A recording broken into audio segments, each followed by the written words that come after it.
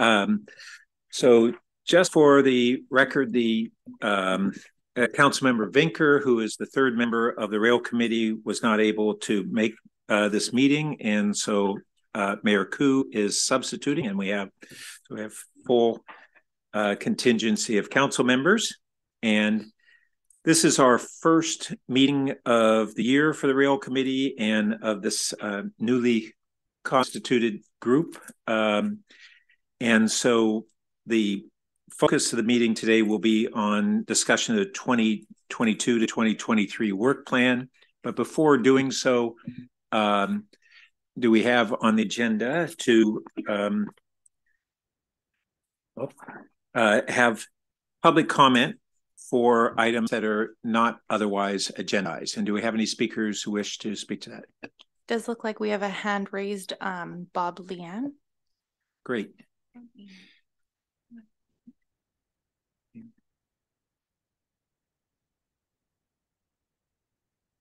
Just one moment. Sorry. No problem.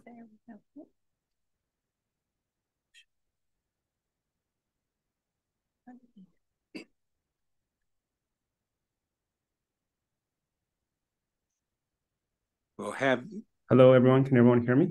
there we are. Go right ahead. Hi. Hello, everyone. Hi, my name is Bob, and I have a public comment.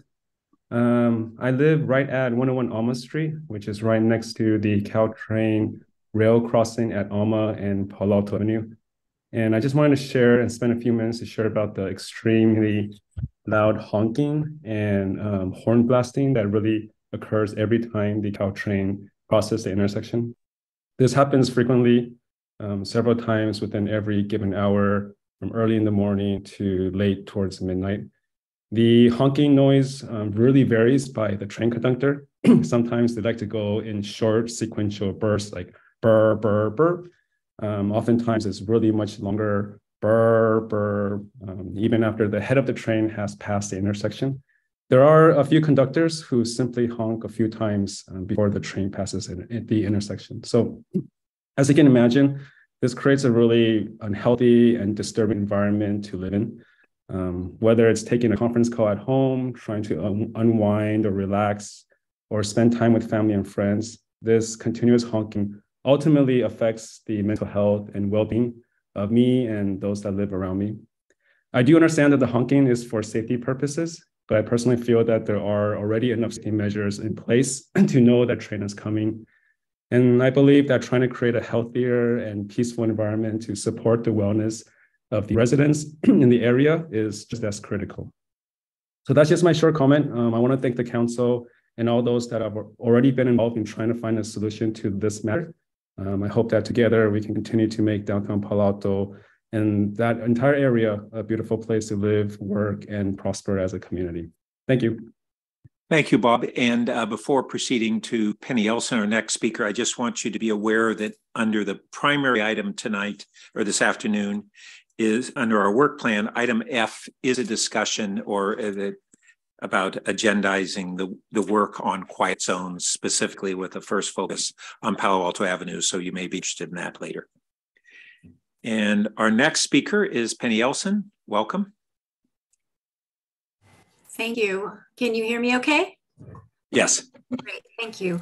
Um, so um, I attended Monday night's meeting um, uh, regarding the city's work plan. Um, and I noted that uh, today's uh, document, work plan document, the Rail Committee 2022-23 work plan, which is attachment A, uh, this document points to a number of other documents staff intends to use to inform the grade separation planning process, including the bicycle pedestrian transportation plan.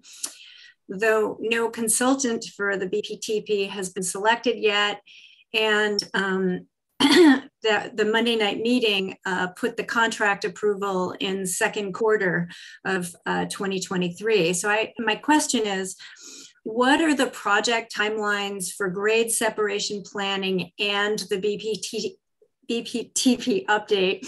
And can staff please explain specifically how the project timelines for these two projects will be aligned to enable the BPTP to inform the grade separation process.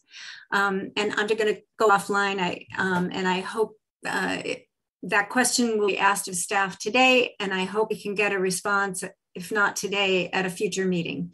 Thanks so very much for hearing my comments. Thank you. And our final speaker is Laura Gronka. Welcome. Hi, thanks so much for um, having me uh, and doing the great work I do. I really appreciate it. Uh, can you hear me okay? Yes. Yes, we can. Great, thank you. Um, I just wanted to offer a couple of comments. Um, I've I live on Churchill between Alma and uh, Emerson, and um, I have really appreciated the pastoral committees um, last last year, and I wanted to just echo a couple um, of things that I heard. One uh, with regards to the the quiet zone, I really appreciate you doing the quiet zone study. Um, I think it's with Caltrain running at a schedule that's more packed than they've ever been their entire history. Uh, the train whistle is is definitely a uh, force to reckon with for people living and also um, you know crossing. And so if it's a full quiet zone, partial quiet zone, I was pretty impressed with the city of San Jose, did a partial quiet zone during nighttime hours. Um, around 23 intersections within just a couple of years when a train changed the schedule. So look forward to that. Um, appreciate it. The um, the other thing that I just wanted to bring up also was with regards to the Churchill crossing.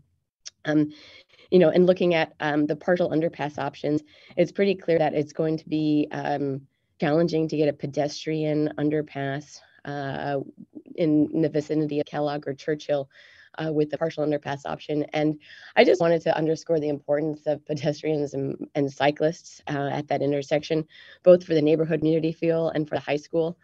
Um, I, I, know there's a lot of discussion around um, the partial around closing Churchill to vehicular traffic, but um, essentially that partial underpass could potentially close Churchill to pedestrian and cyclist traffic, which um, is is to me significantly more unfortunate because those are the people where you're inconveniencing more when you have to go out of the way um, because it takes significantly longer. So um, to that end, I thought it would be helpful. I know that we're exploring the partial underpass options with the um, closure as a backup is just to kind of put some, just for the cost, money, time going into this partial underpass exploration, just to a request to, to put in sort of um, some success criterias and the time bound nature of this such that, um, you know, we can hopefully come to a decision sooner rather than later on, on that crossing.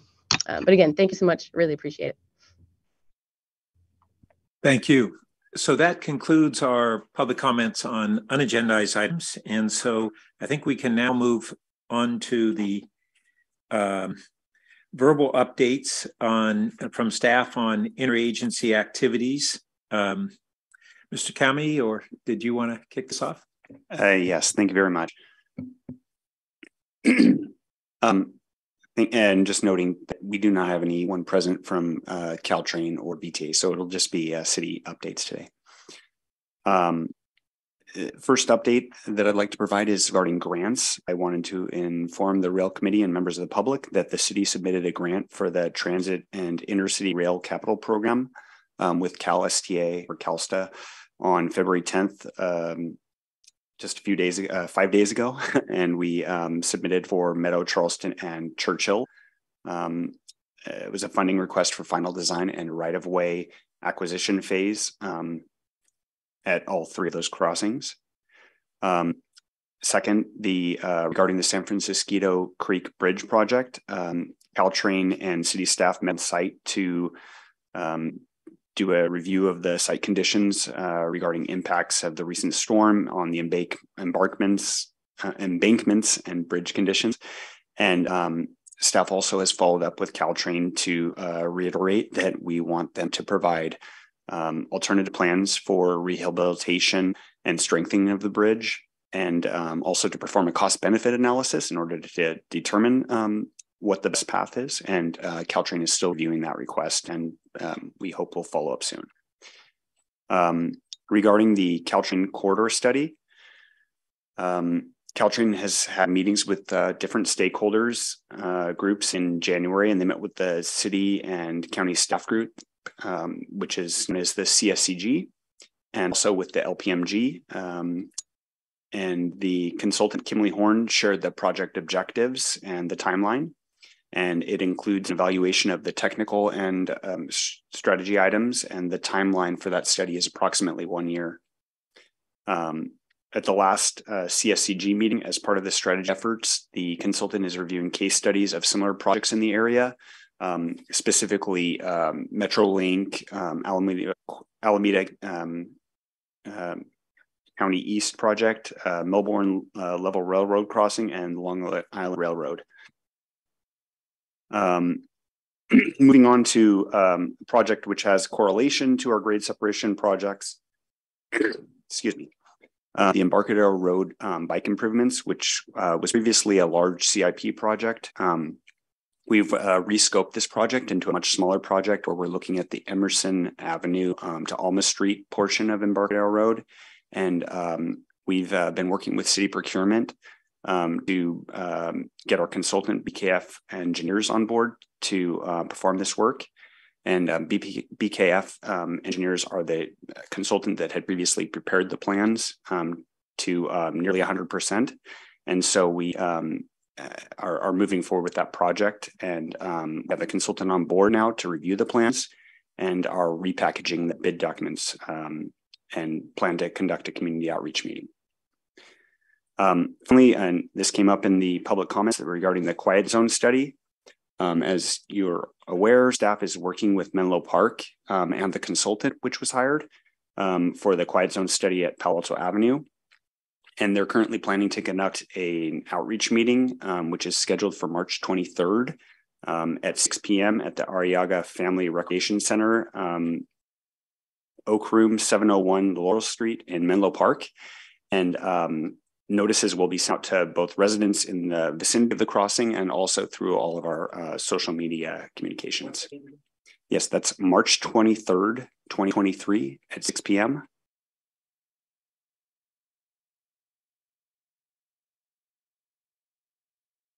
we'd be happy to follow up with more information about it. And uh, with that, uh, that that concludes all of my um, comments. Happy to take any questions. Great. Um, so, uh, colleagues, any questions? Uh, I have a couple of comments and questions, but let you go first. Any? I would like to ask just a clarification. You said you're meeting 6 p.m. Oak Room in where? Uh, it's in the um, Arrillaga Family Recreation Center, the Oak Room uh, 701 at Laurel Street. Oh, okay. Thank you so much. That's all. Yep. Um, and I was real glad to hear that things are proceeding on that Embarcadero bike and ped section uh, between um, Alma, Alma and Emerson. Alma and Emerson, approximately. Yes. Um, and you mentioned a community outreach meeting. Uh, where, when would that community outreach occur in this process? Is it, and, and I guess what I'm looking at is, is it going to be at a point or maybe there need to be two one where there's an opportunity to have input on prospective designs and then another to have feedback on whatever is the tentative design that's been uh, or the design that was developed by the consultant yeah i'm going to have to turn to ripon to maybe answer that question but just to, to give you the high level this this project was actually already at essentially 100% design um, so really we're kind of past the point of getting comments on perspective designs. Um, since we're way past the conceptual phase, this was already a CI. Well, I remember it was part of the design all the way to El Camino, and then yep. Uh, what I I guess then I'm then a little less clear on what will be the design role of the consultant versus any construction implementation if we already have that design. I'm going to turn it to Ripon Bhatia, our senior engineer, to clarify. Good afternoon, everyone. Um, yeah, so in reference to that repackaging, so original project was uh, entirely um, a big uh, project, and so we are trying to repackage it. At the same time, we are reviewing to make sure that uh, the proposed improvements are in line with the current standards and current, uh, um, you know, requirements from the highway design manual and other elements that we are, um, you know, required to meet. So as part of that exercise, if there are any revisions or um, changes, uh, we are hoping minor and would be made and be able to come up with a community meeting so that we re because these the plans have been or the project has been finalized for a long time and people may not be familiar and so be able to familiarize and re um, uh, you know uh, fresh the minds of people especially the ones who are in the fronting um, you know and will be affected by that project uh, so we just want to make sure that we reach out and uh, to the community and and re um, uh, familiarize them with this. Uh, we would certainly as like you know have input and feedback. And if there is significant feedback that requires revisions or major changes um, we can certainly look into a follow-up, but uh, we are hoping that since these projects were uh, finalized to the extent that they were having 100% feedback uh, incorporated from the community as well as from other commissions and committees, uh, that these projects should be um, ready uh, in a project-ready format. So. So uh, that sounds good. So it sounds like the consultant is really to cross the T's, dot the I's, make sure we're in conformance with uh, required standards. Uh, my recollection on this from 2016 is that um, when we had previously had the improvements be on the what we'll call the south southeast side of Embarcadero. Instead, we said no, it really needs to be on the northwest side. Um, staff at that time came up with solutions that, frankly, I was really I, I, I didn't get a chance to really review the details. And I don't think there was much of a council or committee or public process reviewing it, but I was in awe that they were able to fit it in and make significant improvements work within the physical constraints there. And um, um, and I, I, guess I'd like to request just uh, if the committee can be shared a um, what what where we left off on this because I never saw the details and would love to see them, and others may uh, be equally interested. And then, so that's our starting point. And it sounds like we're not expecting changes at all. Yeah, that's correct, and we'd be happy to um, bring that um, to the committee. Great. And then um, just on the Caltrain and VTA uh, issues, um, uh, as uh, most of you know, I'm now on the Caltrain board and I'm chairing the LPMG group uh, and chairing VTA. So I'm getting an opportunity to um, be in more constant engagement with all those bodies on various issues. One of the big things that we've struggled with is we have this MOU um, that Caltrain has proposed to us, uh, basically to like for Mountain View and Sunnyvale to charge us full costs, their full costs for design review and then subsequently project management. Uh, VTA themselves have been interested in whether they would, what their role would be, since through Measure B, VTA is coming up with the, uh, they are the primary funding source. Caltrain had not historically had staff that was really um, had this capacity and expertise, although they've brought on some really, I think, excellent um, uh, new teams uh, to do this. Um, but we and other uh, cities have had real heartburn over that um, MOU understanding. We created a uh, uh, an ad hoc committee of VTA of the Mountain View, Sunnyvale, and Palo Alto uh, around grade separation issues. but Caltrain is having to charge the cities because they have no funding to do this themselves. And um, uh, and so us saying to Caltrain, you shouldn't charge us for this is trying to squeeze water from a rock, unless they can um, uh, they can uh, be provided that funding. And one of the funding sources is that uh, Congresswoman Eshoo had to set aside a two million dollars toward the Sunnyvale one grade separation design and the four in Palo Alto. She had additional dollars that were even bigger ones toward uh, some of the construction of in Mount View and elsewhere. Um, but is staff at, very familiar with that earmark that Congresswoman Eshoo got through for this purpose? It went to VTA, but it's Caltrain that we want to be have funded to support this. So do you have any insight? It's Something I intend to be talking with. Um, I've already discussed it with Caltrain staff, and I intend to discuss it with VTA staff. But I just wanted to ask if you have any insights on that earmark because I hadn't appreciated that had gone through with that designated purpose. It's really exciting that we got that. Um, but I, I, don't know any specifics on how that can be used to meet our needs. You have, ahead. You have any? No. Um, as I recall, at the time uh, that that earmark was being requested, I believe Philip, you can correct me if I'm wrong, but we sent a letter of support for that, and it it is accurate that I believe the grant recipient was VTA. So, given that, I think it's a conversation with VTA as to how best to leverage it. Well, I intend to have that conversation. Thank you. Uh, and uh, um, let's see. Uh, and then the only other thing is just um, a little update on the LPMG.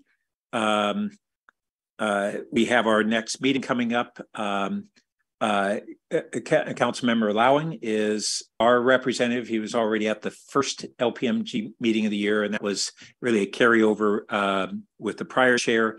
Uh, we, uh, I would say that uh, Caltrain not only now has uh, staff that uh, we've met with multiple times that are their technical team on the whole grade separation.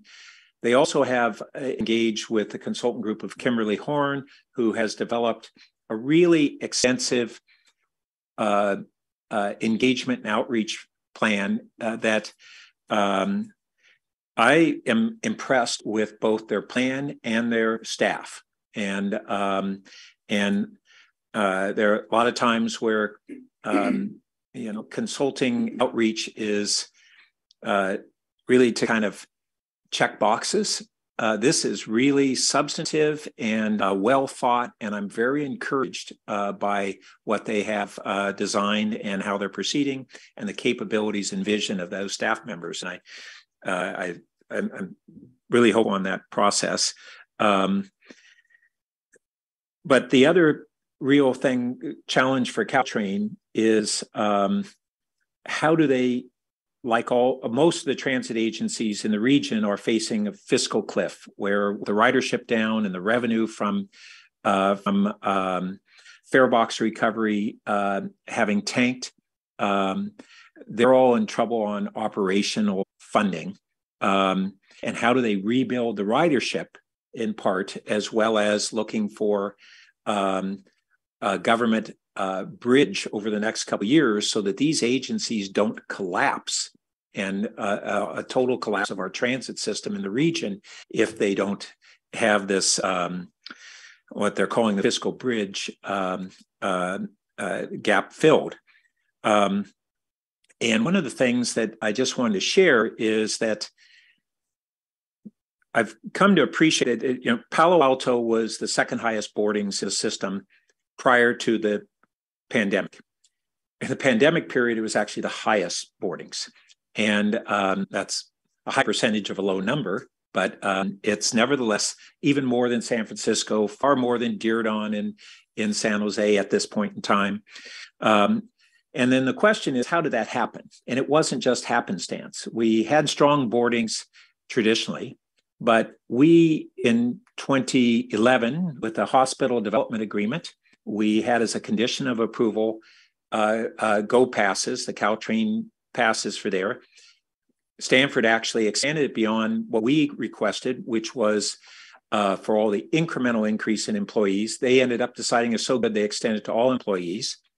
Then we've had our TMA, where we under, came to understand um, that uh, in the downtown area, uh, the tech companies, big tech companies, tended to have their own TDM programs. It was the small, lower income uh, uh, uh, paying uh, service businesses that really needed their employees needed the help, and that's where our TMA is focused on with either providing VTA smart passes or Caltrain Go passes, and that expanded that and included into lower income riders. And Caltrain is historically not a system that provides lifeline service uh, for low income uh, transit users. It's an anomaly uh, nationally in its income level and and the fact that riders are typically discretionary riders, not necessity.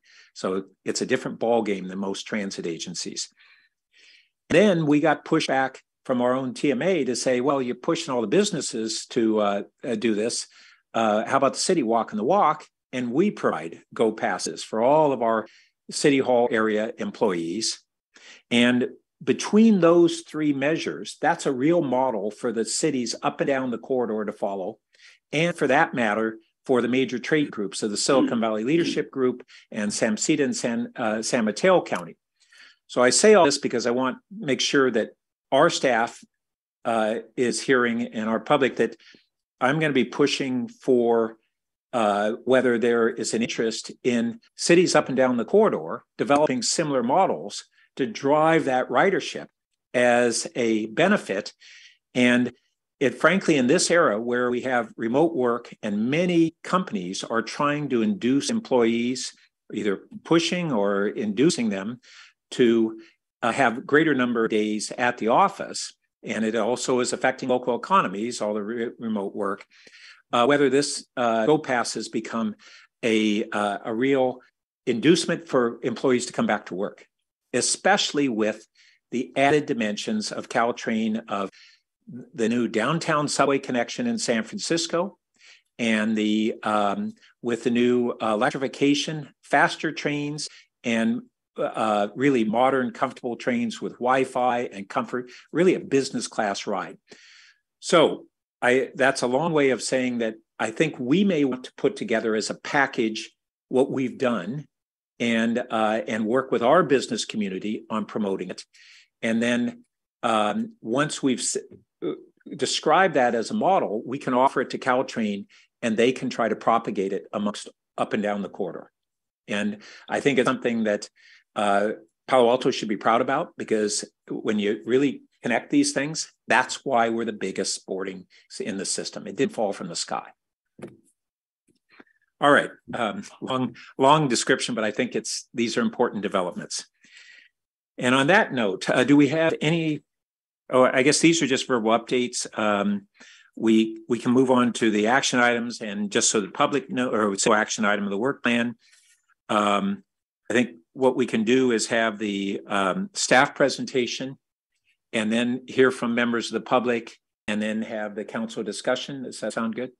Uh, uh, and uh, I'm going to call on Nadia Naik, who is um, having been the XCAP chair, is is kind of an ex-official member of this committee. Uh, did you have a question on that process? Um, I just had actually a question about the bike improvements on Embarcadero. So what I recall, that plan included um, things that were on the north side of Embarcadero and also some improvements that extended to the El Camino intersection. And my understanding, I think, was that those are actually based on uh, stuff that relates to Stanford. When Stanford goes over their numbers, we get money to improve intersections. And I thought some of those improvements related to those a long time the ago. El Camino part. Mm-hmm. Yeah. And so the question is, I know that that was in the it was approved by council it was approved in funding it got dropped during the covid sort of budget cuts and now it's come back um, and i don't understand the funding piece of this so i'll stay out of that but just trying to understand the previous argument for limiting the improvements to only the bicycle part along Embarcadero was because we didn't know at the time what council was going to decide in terms of Churchill improvements. If they chose to close Churchill, they would have had to improve the El Camino intersection.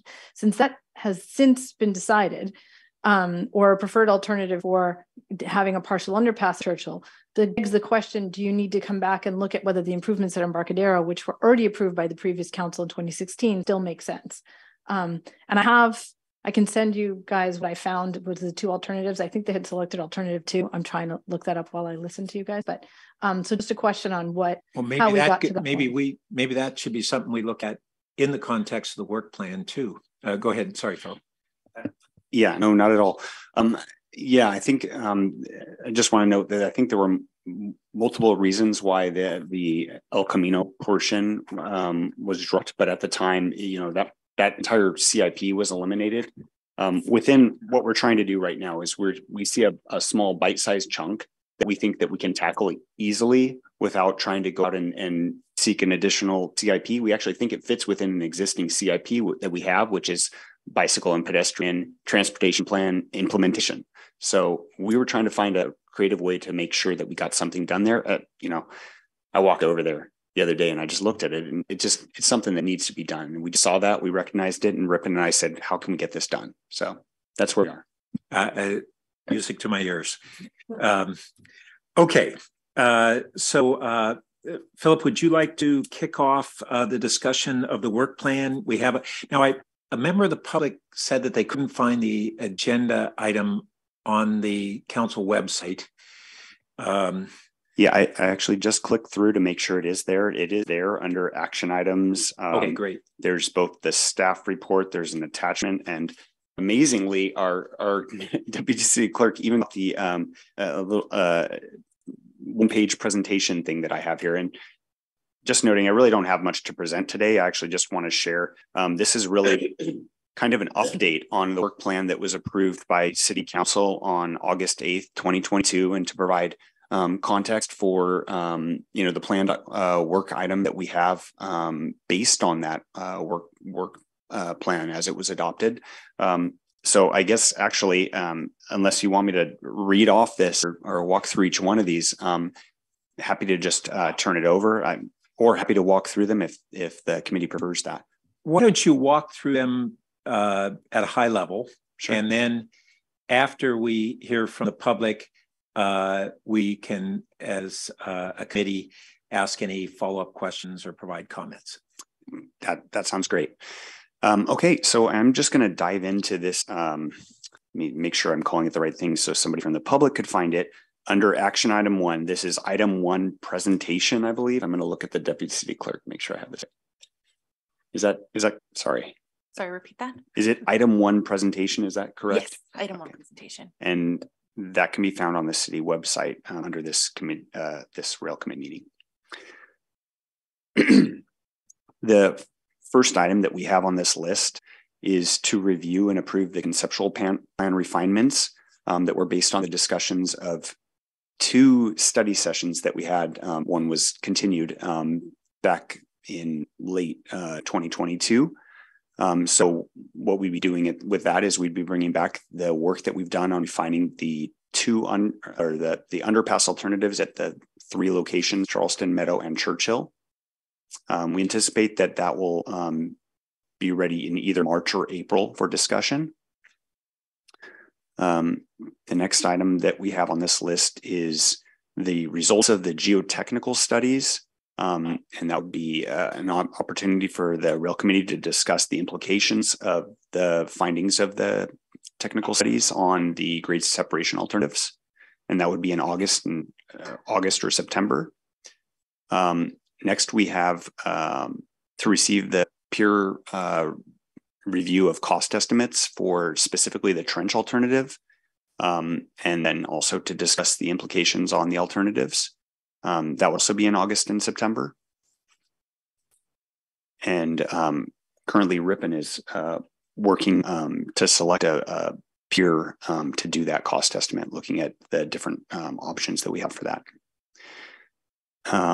The next item is to review the Caltrain service agreement for possible recommendation to City Council, and that was discussed a little bit earlier um, by uh, Chair Burt, um, noting that you know we're still waiting um, for a response um, from Caltrain, um, but not that they're ignoring us. They're they're they're working on it. They're working on revising the agreement so that we can have a discussion soon, um, staff discussion to make sure that it addresses some of the concerns that we had um, that actually I submitted a memo to the rail committee back in December, um, our December meeting on. Um, and we hope that that would occur in May or June of 2023, or at least we would have. Um, well, we'll update that as we hear back from Caltrain, but then you know it is kind of pen their um, work. Um, the next one is to receive the Caltrain update on the San Francisquito Creek Bridge um, rehab and replacement, which I'd also mentioned in our staff updates. Um, the item after that is uh, regarding funding and legislative information and opportunities. Um, it's ongoing staff updates. I provided one today. Um, the next one um, was also referenced. That's to receive the um, Caltrain Corridor Crossing Strategy, which they're calling CCS. Um, and that's their their study and also the um, uh, issues regarding four tracking and technical issues. And they've currently targeted um, approximately a year for that study, but uh, we're expecting sometime between November and March um, that we'll uh, re- receive that finalized study. Um, the next item is regarding the bicycle and pedestrian transportation plan and um, considerations for uh, the new east and west uh, bike ped crossings um, for possible recommendation to City Council. That was actually brought up as well in uh, public comments today. Um, we're expecting that to occur sometime um, in approximately November to March timeframe. And the item after that is um, to review and provide feedback on um, the improvements for the implementation of quiet zones at California Avenue. And that's scheduled for April of 2023. And um, then uh, we've rail committee recommendation to city council for the implementation of quiet zones um, to occur uh, following that in August through September of 2023. And then the final item on here, which is maybe the most critical, is uh, rail committee to um, provide a recommendation to city council for either narrowing or selection of um, alternatives for grade separation. And that date is TBD. And with that, happy to take any questions or comments. Well, I'll just um, say that I want to make sure everybody also sees the attachment a work plan, which takes what you've put down here as kind of a, a tentative meeting schedule, uh, but the the work plan gives uh, much greater detail on the actual. It's four columns: the focus area, the rail committee activities, the time frame, and a progress report.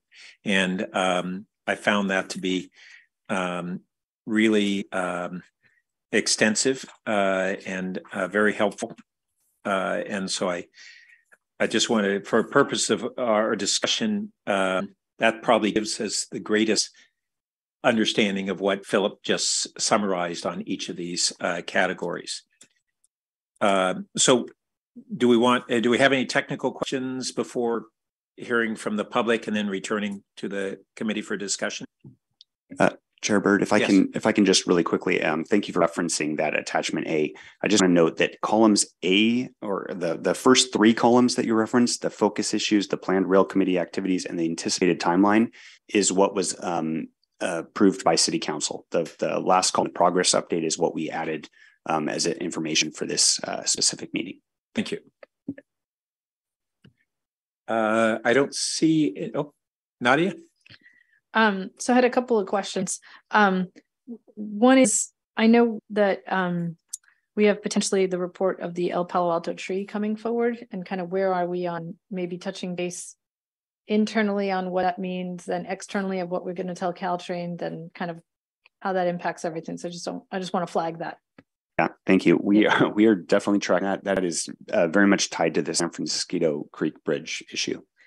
Yeah. Um, a second is uh, when you on the tentative work schedule where you have the thing about the BPTP um, bike crossings.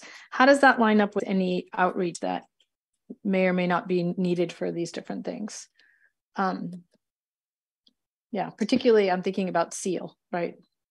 Yeah. Okay. So yes, the Seale. Well, just in general, the the first part of the BPTP is to start with the community outreach. Mm-hmm. So just uh, I appreciate you bringing that up because that was a, a, comment that we received, um, as you heard from Penny Ellson. So I, I'm not sure about the quarter two thing, and apologies, I'm really back to quarters, and I'm not sure if it's a calendar year quarter or fiscal year quarter or what what the reference is. But um, this week we're actually planning to let procurement know um, who our selected vendor is. We just completed interviews.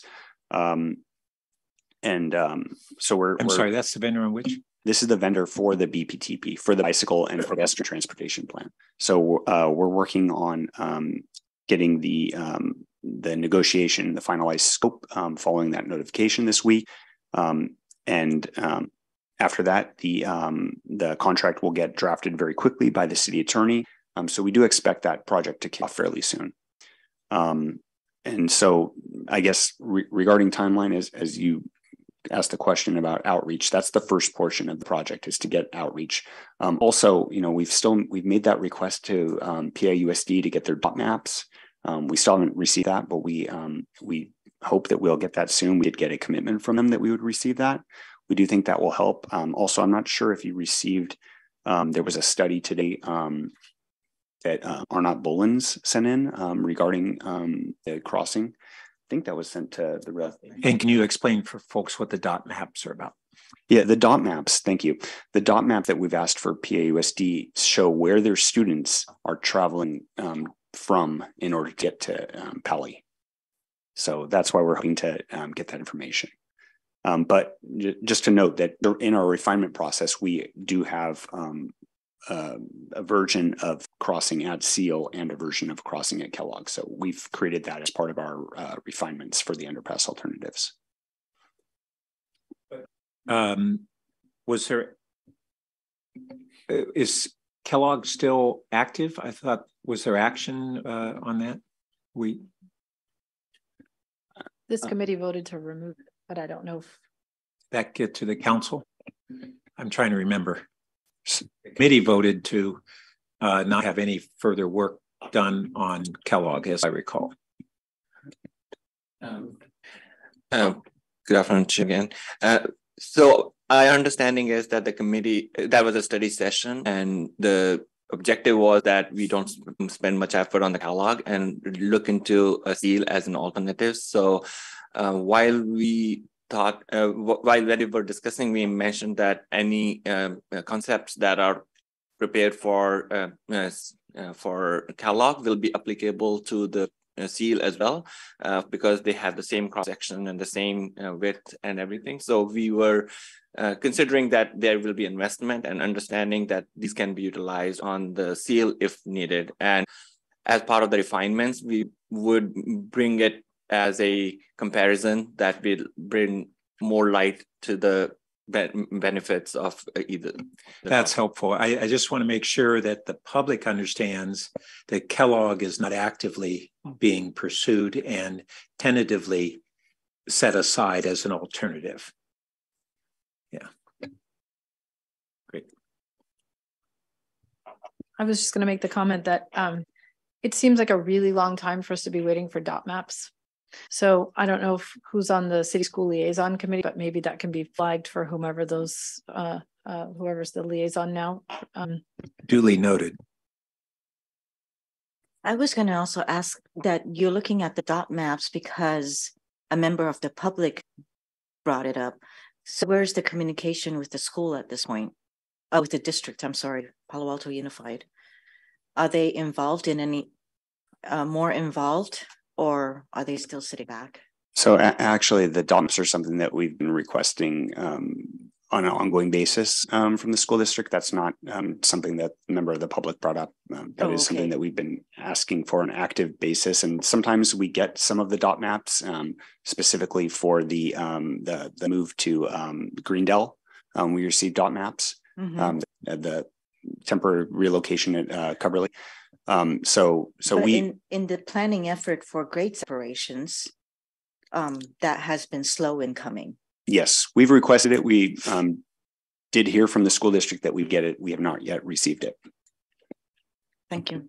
We have at least even a latest, like what's the most recent version that we have? 2016, 2020? I mean, clearly 2020 would be a bad reference, but I'm not aware of any that we have for for Pali um, within my tenure at the city.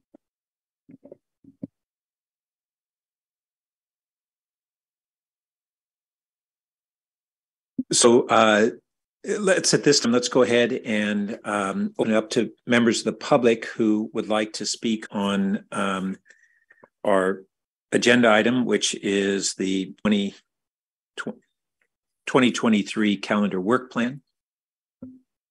And First speaker is Penny Ellson, uh, to be followed by Laura Grank- Granka. Welcome. Penny, it should be your floor. Oh, thank you. Um, uh, follow up further on my questions about how these timelines align. Um, so, what I see in this um, in in the the document that uh, Philip Kamhi just showed is that you anticipate starting to integrate BPTP information um, into your planning process sometime in it, starting in November. Um, but the process, according to the work plan that we saw on Monday night, um, doesn't get approved by council until Q2 quarter, second quarter, which starts October um, of 2023. Um, that's pretty late. So these timelines, from my perspective, do not align. Um, and I just want to say that the public outreach process takes many months.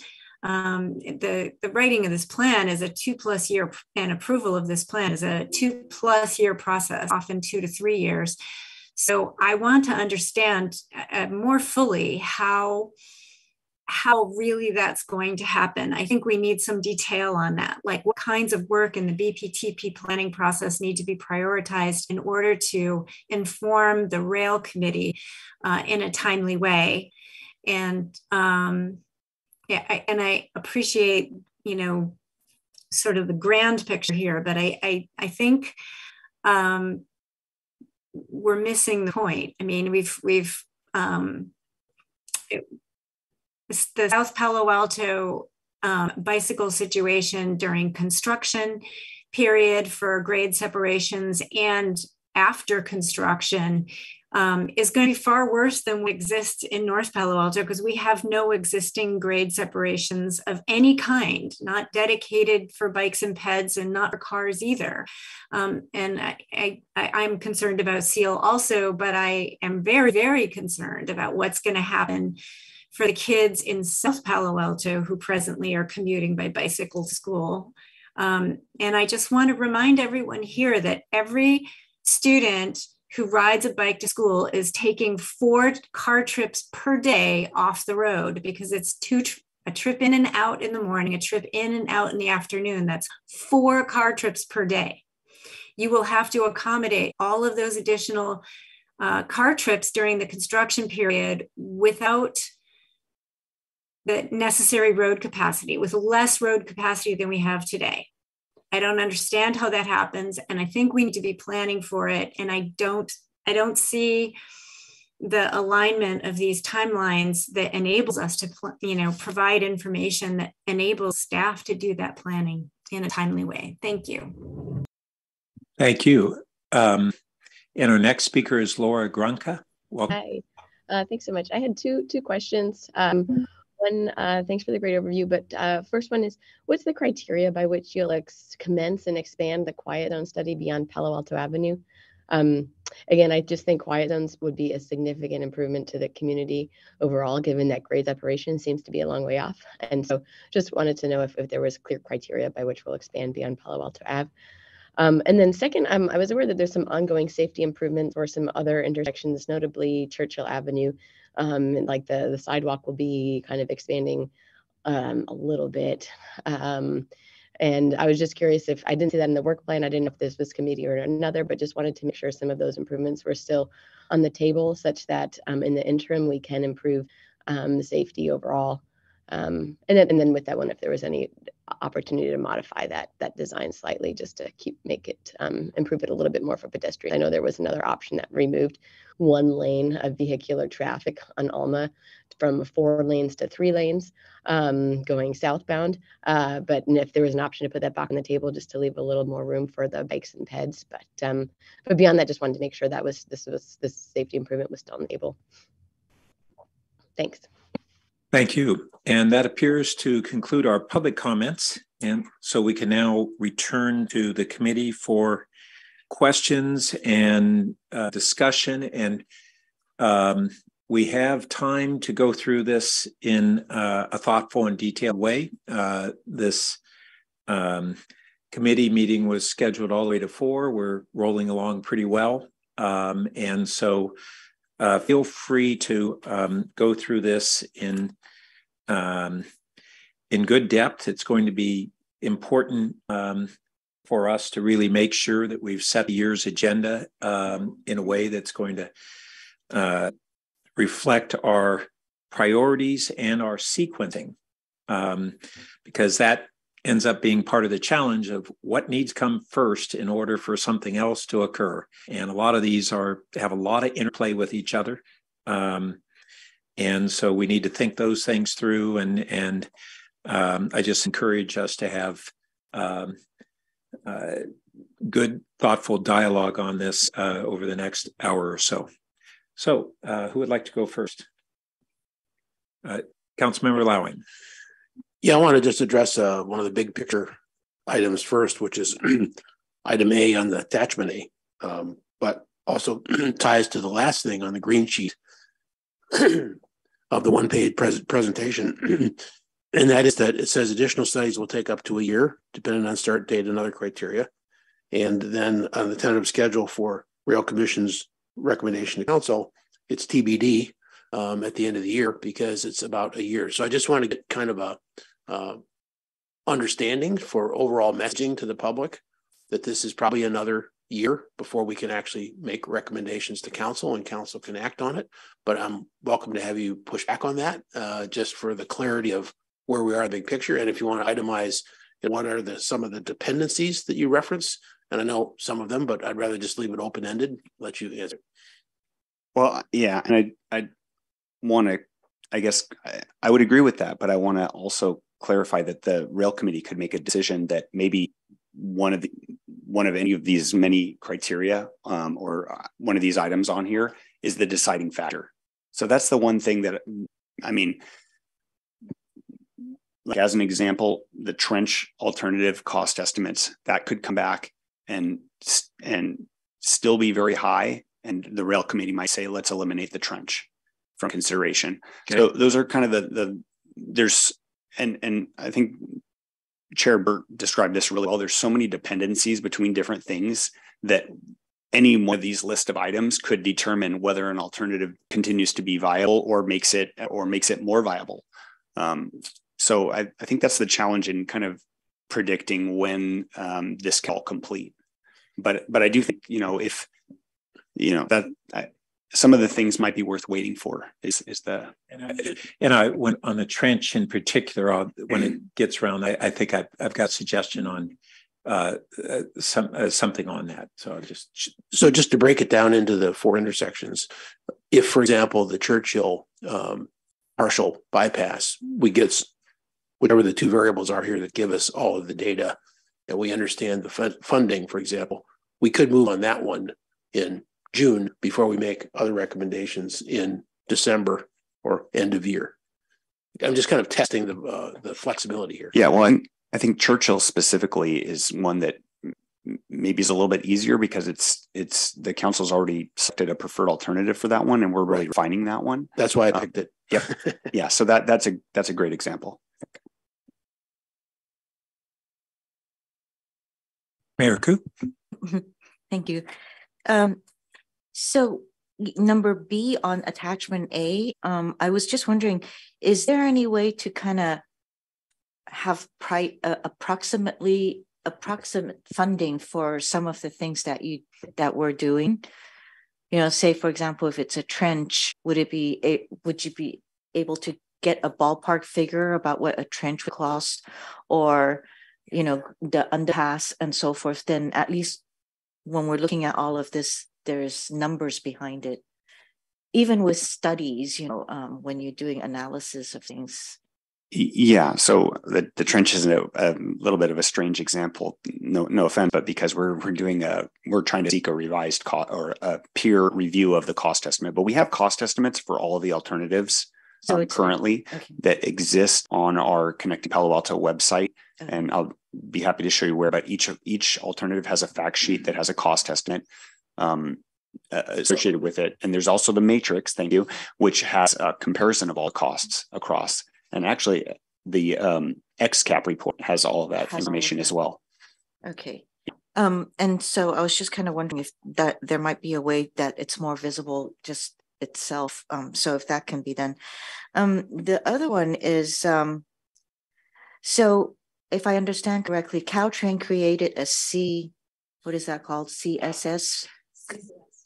CCS committee Yes, CCS. Uh, in order to review the questions that we asked them for the designs? Not exactly. The CCS is a study. It's a um, it's the study that actually they'd been promising for years that they were going to kick off, and we had been. Um, it does answer or it can answer some of the questions that we've been asking. So that's contained in it, but it's actually not for us specifically. It's for the entire corridor. And the acronym is for What is it? It's Caltrain Corridor Crossing Strategy. So it's Corridor Crossing Strategy.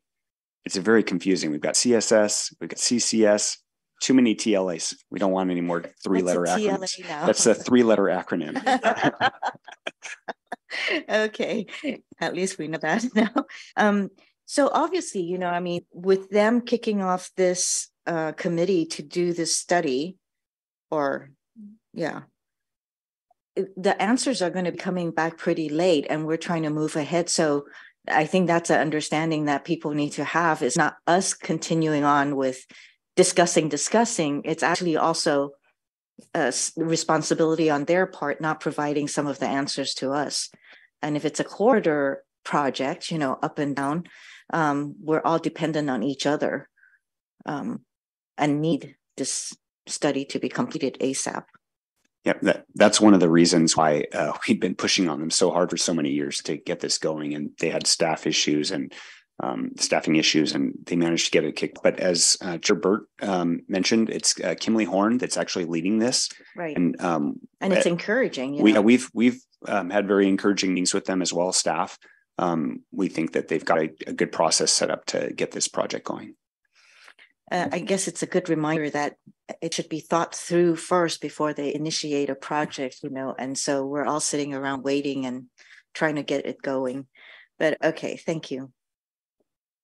And this is kind of a problem because all of our residents don't understand that. So there, there's an important messaging issue here as we go forward on the year.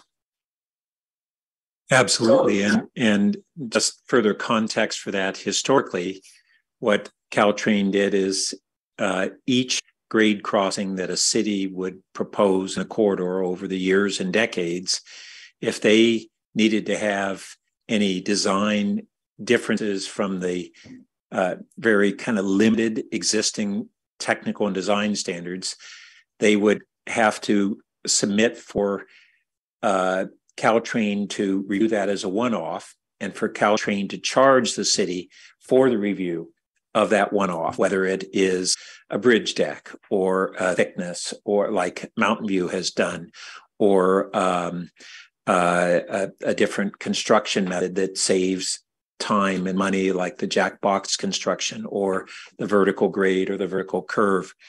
And with our Palo Alto generally being um, a constricted corridor, meaning narrow and built out on either side, our grade crossings are more challenging than most of the rest of the grade crossings in the corridor. So we've needed, if we wanted to have solutions that uh, either lowered the cost or had fewer impacts on the community, we have a whole series of exceptions that we would be uh, pursuing. But Caltrain has already acknowledged that most of the things that we would call exceptions are things that they will likely be building into new technical standards that would be the norm of what's allowed, and then a narrower set of things that might be exceptions. And I agree with you fully. I, I would really like us to look at having staff com- compose maybe a draft of explanation of this for the public. And we as a committee, or I, I would be glad to review it, to have it so that we're communicating these basic concepts uh, in a way that everybody understands. Here's where we are and what we're hinging on, and uh, what we need from Caltrain so that we can move forward. Um, okay. Um, well, let me wade into several other specifics. and I felt maybe as I, if I use the tentative schedule as a first reference point, uh, not sure if you can point to me where in the work plan it correlates. So the third item is peer review cost estimates of trench alternatives. Um, and their uh, implications.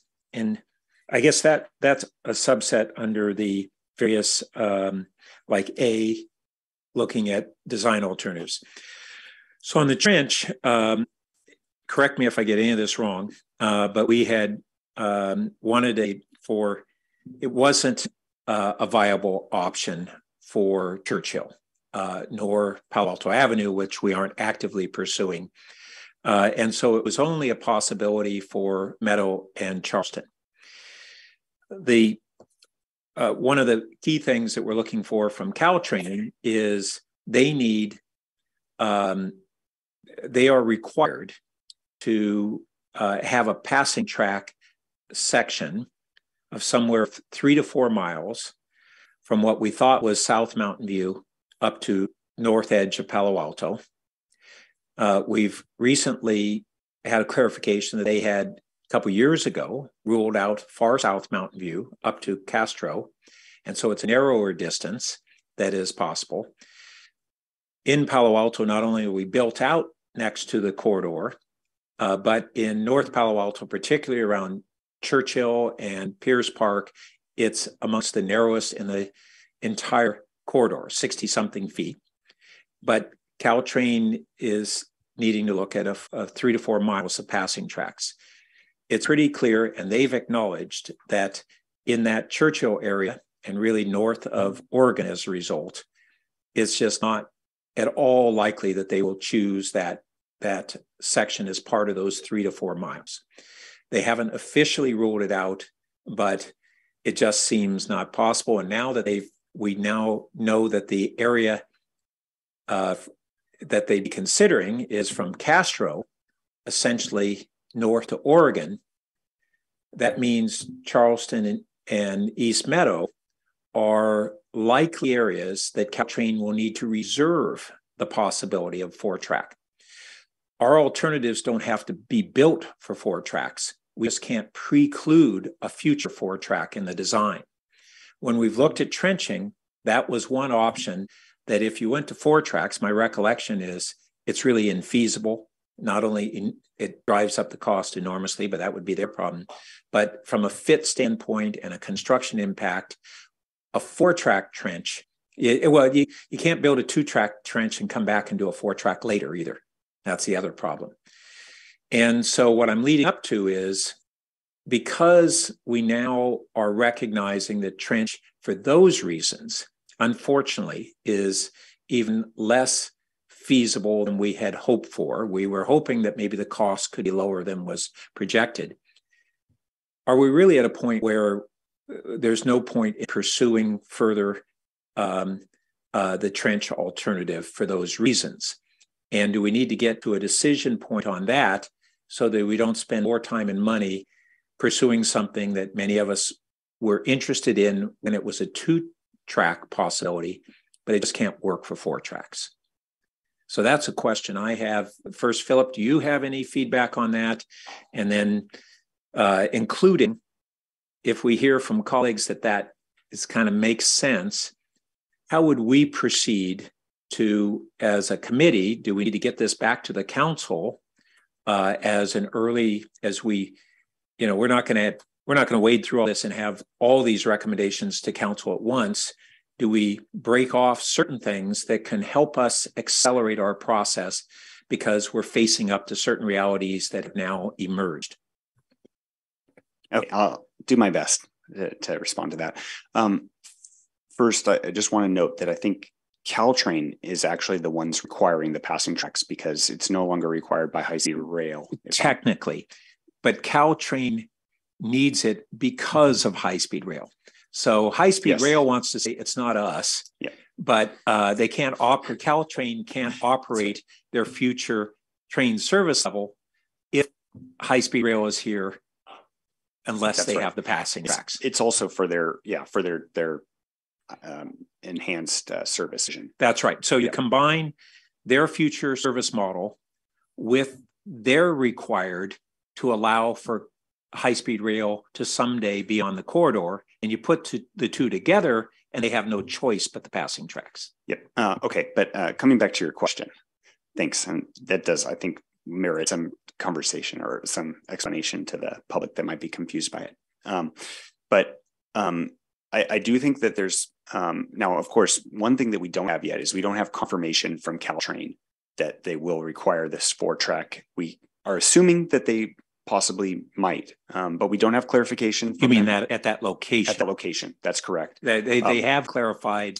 that they will need it in that that zone, right? That's right, and that that does kind of um, come back to something that um, that um, member Kou had mentioned earlier regarding regarding um, whether we need to wait for Caltrain to finish this, because Caltrain did offer to provide us answers to some of our questions in an expedited fashion if we were to essentially pay them to do that work ahead of time. So just mentioning that. Um, but to answer your broader question, yes, I think there's value if we think, um, if the committee believes that the trench is no longer viable at any point in this time, to remove that from consideration because then we can spend more time focused on the alternatives that we do think have um, more merit or more likelihood of success. So sh short answer um, to to the, the question, but I, I, think there is value in that if if we've decided that we think that that is um, the direction that Caltrain is going to head. So do we have that data? Is the question. Which data? The, the data to make the decision that we should pull. No. So what Philip was really saying is, and this goes, I think it was our last meeting of the year, uh, where Caltrain came forward and basically said, we have this proposed MOU and if you will pay us, we we will answer these questions. Now, as I said earlier, they don't have funding to do it for free. Unfortunately, we need to get them the funding so they don't have to charge us. Um, but within that discussion, I said, okay, I understand certain things are technical and design standards, and um, and we have one question of our concerns over being charged for that, but this four track system is not an issue of um, of where we stand on um, on asking for a standard. This is a Caltrain decision. And we also asked and have not received from Mountain View or otherwise, uh, how did Mountain View extract the clarification or the decision uh, from Caltrain to not include from Castro to the southern edge of Mount View. And have we gotten any response on that? Uh, just to note that they they sent a letter requesting it, but according to Caltrain, there was not a response to that. Um, so, all right, I, I will think, follow up on that. Yeah, myself. But uh, you know, um, sorry, I lost my train of thought. I was just going to mention that. Um, oh, give me a second; it'll come back to me. Sorry. No, it's it's got it right. Um, so um, the I will um, I will pursue with uh, Caltrain uh, that the answer to that. Now, the letter that Mountain View sent, did we get a copy of that? Yes. Has the has the uh, committee seen it? Uh, I, yeah, I'm not sure. We'll, we'll we'll check and follow up on that. Okay, good. If we could see that, uh, in fact, if I could get it shortly so that if I'm going to pursue this directly with Caltrain, uh, I can have that reference point. Sounds good. I'm sorry, okay. I remembered what I was thinking is our pushback to Caltrain is exactly as you described that um, that really we were not asking them for like a design exemption or something where we needed something for our design. This was a decision that Caltrain needs to make about where the four tracking needs to occur. This is a business decision for their operation and therefore something that they should be helping us by telling us, not something that we should be paying for them to tell us. Exactly. Thank you. All right. Um, and then I had a question on your fourth item, which was review of the Caltrain service agreement. Uh, well, I'll just first, uh, sorry, before we leave the previous one on the trench. So we had that tentatively scheduled for August, September. Um, um, I will. Um, I, I, think we we don't want to be held up on. We can't really do any of these other discussions around Charleston East Meadow. Uh, well, we we could do things, but removing something that's infeasible from the options will help accelerate our decision making. And so I, I think we really want to resolve this uh, four track issue, especially as it relates to the trench option as soon as possible. And then we can perhaps move forward on, on some, uh, just dropping that from the list, frankly. Yeah, th- thank you. I would concur with that. Yeah. And I say that as somebody who had hoped we could consider a trench. If I may, I'm just looking at Google Maps, and if you take the very kludgy tool that Google Maps has to measure from Castro Street just to um, Meadow, it's exactly three miles. So, I mean, by sheer logic, if if the Castro decision is approved, then there's no way that they're not going to turn around and tell us that we can't, that we we we don't have to certainly plan for you know to not preclude four Yeah, not preclude. Yeah. But if we remove the trench quicker than what this thing says, then we would be saving ourselves the review of the trench cost estimate. Um, and in addition, I mean, there's geotechnical studies which we need anyway for the underpass. I don't think we really save anything there, but it does help move that forward. Um, I did just want to flag for you, and I'm sorry to sort of jump ahead the rest of your comments, but I, I've been hearing from folks that are following the the feedback that PABAC has been giving on the alternatives and it troubles me that because the viaduct eliminated from the alternatives at the time um, they're only giving feedback on the three remaining alternatives which would make sense. It would be it's the trench the hybrid and the underpass. Um, however um, if you solely put on your bike helmet haha for a second and only thought about bikes um, you you kind of have two ways of thinking about bike crossings. It either the ideal form of bike crossings if you have to cross Alma, of which the obvious answer is flat is best, which makes the viaduct the best option for the bike community. And if you have to look at something where you are going to um, skip Alma from a biking perspective and not have to have them um, interface with cars, then you would improve the underpass in some way. So I just want to say that if there's a consideration of removing the trench, I do think it makes sense to discuss the viaduct, not just for the bike community's perspective, but also because it takes much less construction time. And one of the things that we've never put a value on is how much shorter of a construction period. And I believe it's a two, I think it's two years less than the hybrid, even though there's a cost difference, there's a price to that. And that all ties into something which is actually on on uh, attachment A, letter A, the very first bullet is review grade separation selection criteria for any revisions. We haven't looked at that criteria since 2017. And now would probably be a good time to think about okay what are we actually optimizing for? Because ultimately the cost estimates we get from the consultants are just for the stuff that they're building but doesn't account for all the disruption that we're going to have. And so i just want to say that i i think if I, i'm trying i don't I, I recognize that the idea is to pare down the alternatives and not keep adding stuff back on the table but i would be remiss if we didn't highlight that and think about if you really are going to remove the trench if PABAC is going to the trouble of giving comments, do they also give comments on the viaduct alternative? Because that makes the most sense from a bike perspective. So just want to throw that out there. Well, thanks. And so that let's let me try to fold that into um, a couple of uh, comments here. So one is if we are at a point where the trench isn't viable because we're going to have to allow for four tracks in that area. Um, are we otherwise in the process of having uh, additional work on the peer review costs, the trench alternatives? Should we? That is anything actively going on in that?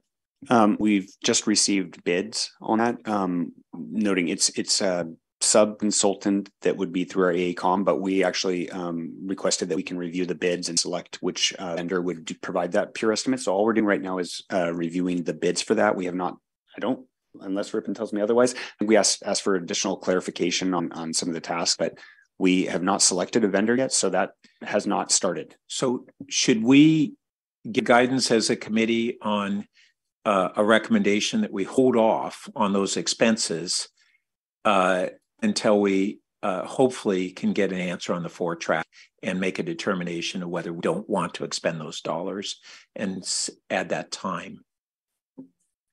Um, apologies. The reason I'm glancing at Ripon is I'm trying to think back to what the council direction was regarding this. I know that they approved the contract. I don't know that they directed us specifically. Did they direct us to do this? Okay. So the council did direct us to do this. So that that's the only catch that I have, but I'm not sure Yeah. that there's harm in us holding on that. We can hold it and it could be something that we add to the early uh, uh, uh, recommendations of the committee to the council for any, any adjustments that we'd want to do early this year so that we're on a best path.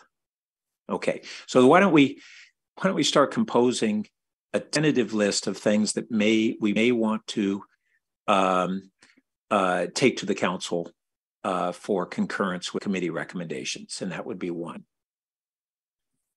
Um, I'd like to Yes. add something.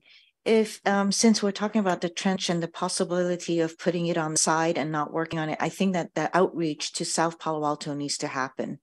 Um, you know, they, they are actually looking, there are quite a large number of them that are looking at a trench uh, and are quite vocal about a trench.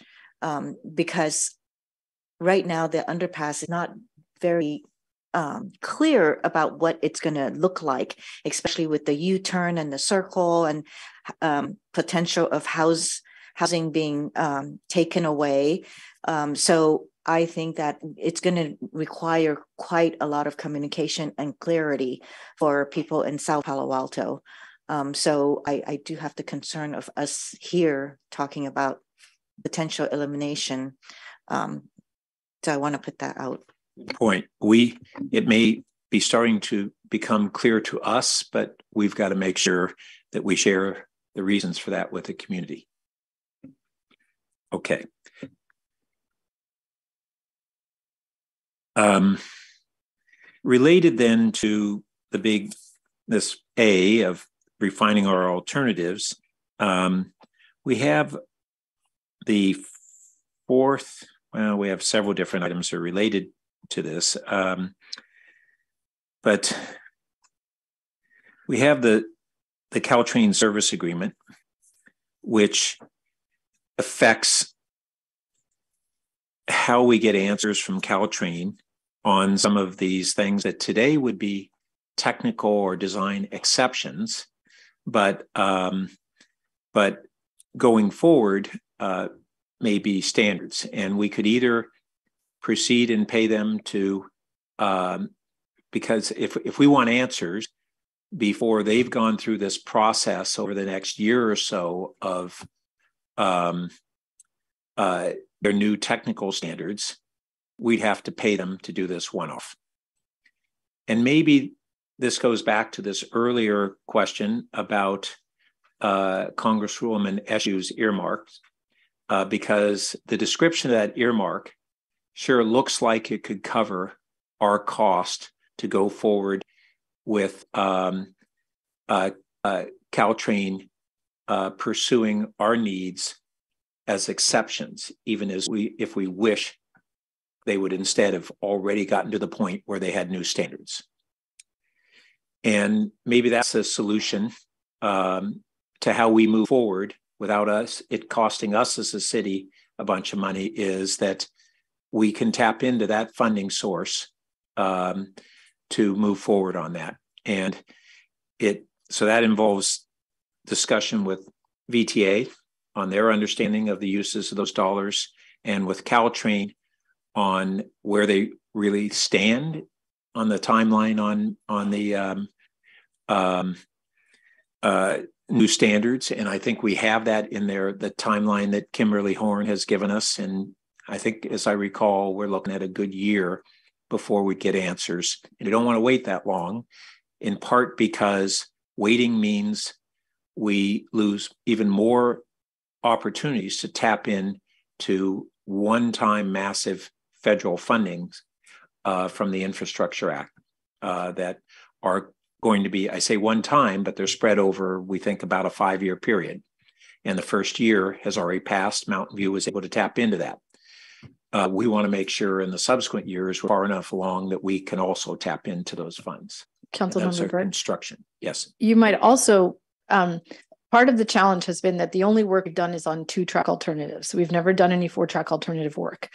you might want to let it be known to uh, Representative Eshoo's office that we are unable to use the money that she has secured for us because we're not getting an answer from Caltrain about the location of the four tracks. That might actually help speed things up because if they come back and say, okay, definitely you have to allow for four tracks, then we can go and ask our things as a design exception because we already have designs to discuss. We have the two track alternatives that we know should not necessarily impede with those. If if that's necessary, I, I, wouldn't hesitate to do that. Uh, I'm somewhat optimistic that given that I now have a greater engagement with Caltrain uh, as a board member, that we can uh, shake this tree and hopefully fruit will fall and not a branch on our heads. um, okay. Um, and I'm just uh, uh, sorry, looking at my notes. Um, Nadia brought up this issue of um, that it's been several years since we reviewed the selection criteria. And what we've really done is we've had a de facto evolution in the criteria that we talk about without going back and redefining the criteria and having the criteria reflect what we really recognize or maybe a shift in some of the criteria. And so if it seems that really the, the decision making should be based on criteria and uh, it, it implies to me that maybe in our next March meeting, as a starting point, we should have a review of the criteria and update them to reflect our current best understandings. Uh, and that is based in uh, a significant degree on, on not only what we as a committee have done, but uh, what the XCAP had done and input from the community. That's all caused us to have a refined understanding of what criteria should we really be using uh, and certain circumstances have changed.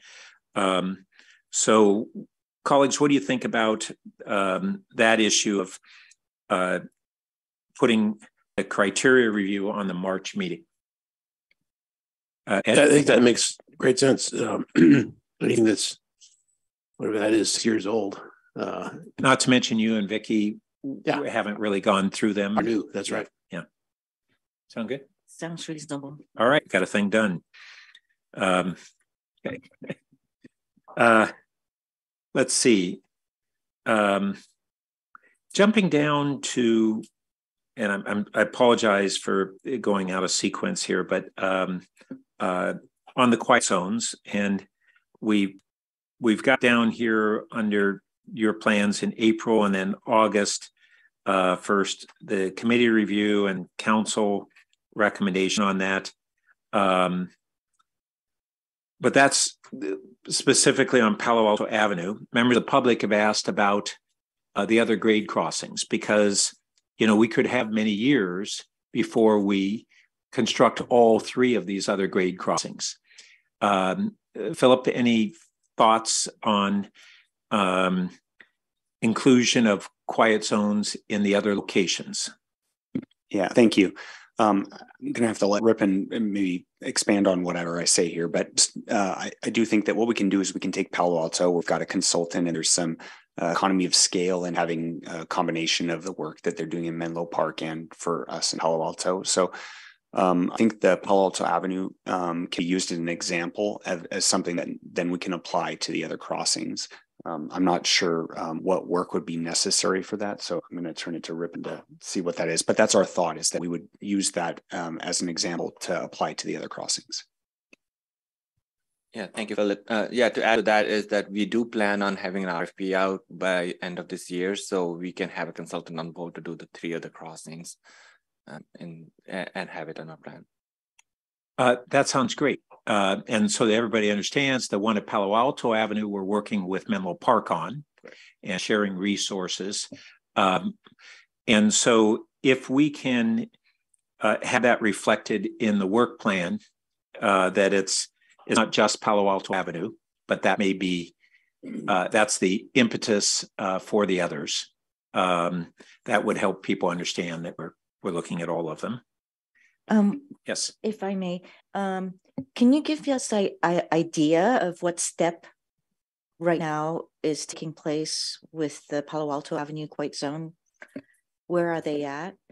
Yeah, currently we are in the outreach phase of the original study. So we have developed a conceptual plan with uh, uh, meeting with the uh, CPUC and Caltrain, so adhering to the standards of the FRA to develop a, um, a, a alternative that would be likely acceptable to um, CPUC and FRA for approval of the quiet zone.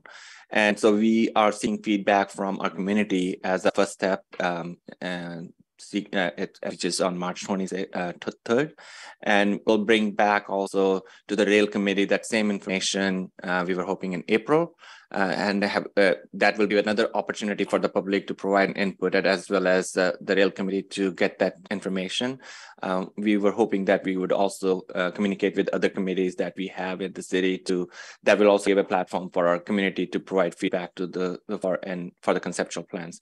So once the feedback and outreach is complete, we would finalize the plan based on the rail committee's input and direction as well, and um, we could make a recommendation uh, so the finalized concept plan would be recommended to the city council uh, of this study uh, for implementation of this uh, quiet zone.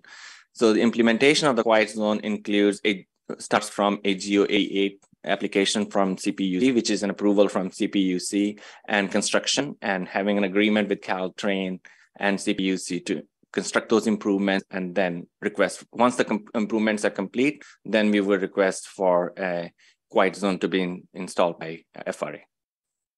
That looks like in September or end of the year. Uh, well, uh, so it would be in front of council for um, recommendation um, to implement between, um, I think we said August to September. Great, thank you. Um, so, in terms of the outreach that you mentioned or engagement, is that going to be Menlo Park that is going to be doing it, or are you? Is Palo Alto also? Doing outreach to the community for the conceptual plans. so as a community outreach the first community outreach meeting that we are planning is in collaboration with city of menlo park. That's why it's in the menlo park and menlo park has four other intersections which are much more complicated and we are all doing it as one community meeting but we will be meeting virtually with our stakeholders different stakeholders and providing opportunity and also at rail committee uh, for our constituents and stakeholders to provide feedback. We will be notifying the residents within the vicinity of the palo alto crossing for that community meeting uh, uh, for the March 23rd. Well, that was part of my next question. We've had a number of speakers. We we know 101 Alma and others there. So they uh, presumably they have some sort of a I don't know if it's a condo or it's a condo group.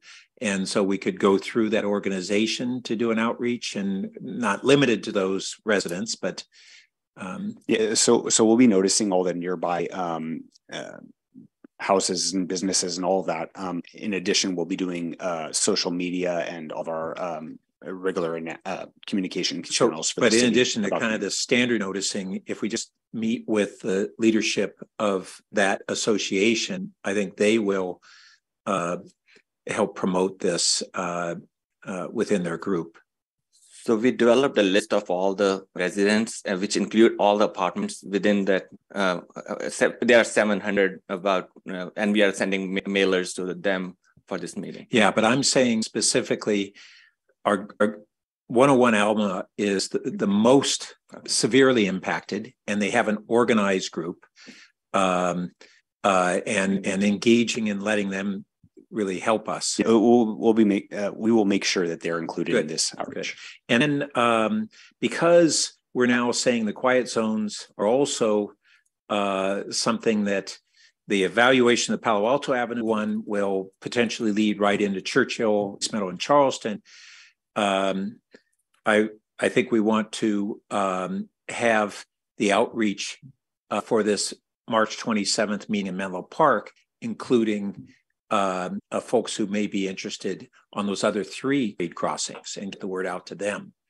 Uh, because now that we're saying, hey, this is going to be the ability to move right from Palo Alto Avenue into these others, um, they're going to be interested. So we would have a separate outreach once we start the process for those other crossings, which would be in the other RFP. Of course, anybody be welcome to go to those. Yeah, I'm just saying we want to get the word out about that meeting to everybody who's interested in quiet zones because this is the foundational yep. meeting on it. Yes, we are include planning on including it on the city calendar to make sure that the whole city is aware of it. Okay, so beyond yeah, the city calendar, the social media, social media, all of our normal communications channels. Uh, Nadia, I think we had an email list also for anyone who's following uh, the XCAP process. You might want to blast that list as well. Yeah, they will certainly be included. Thank you.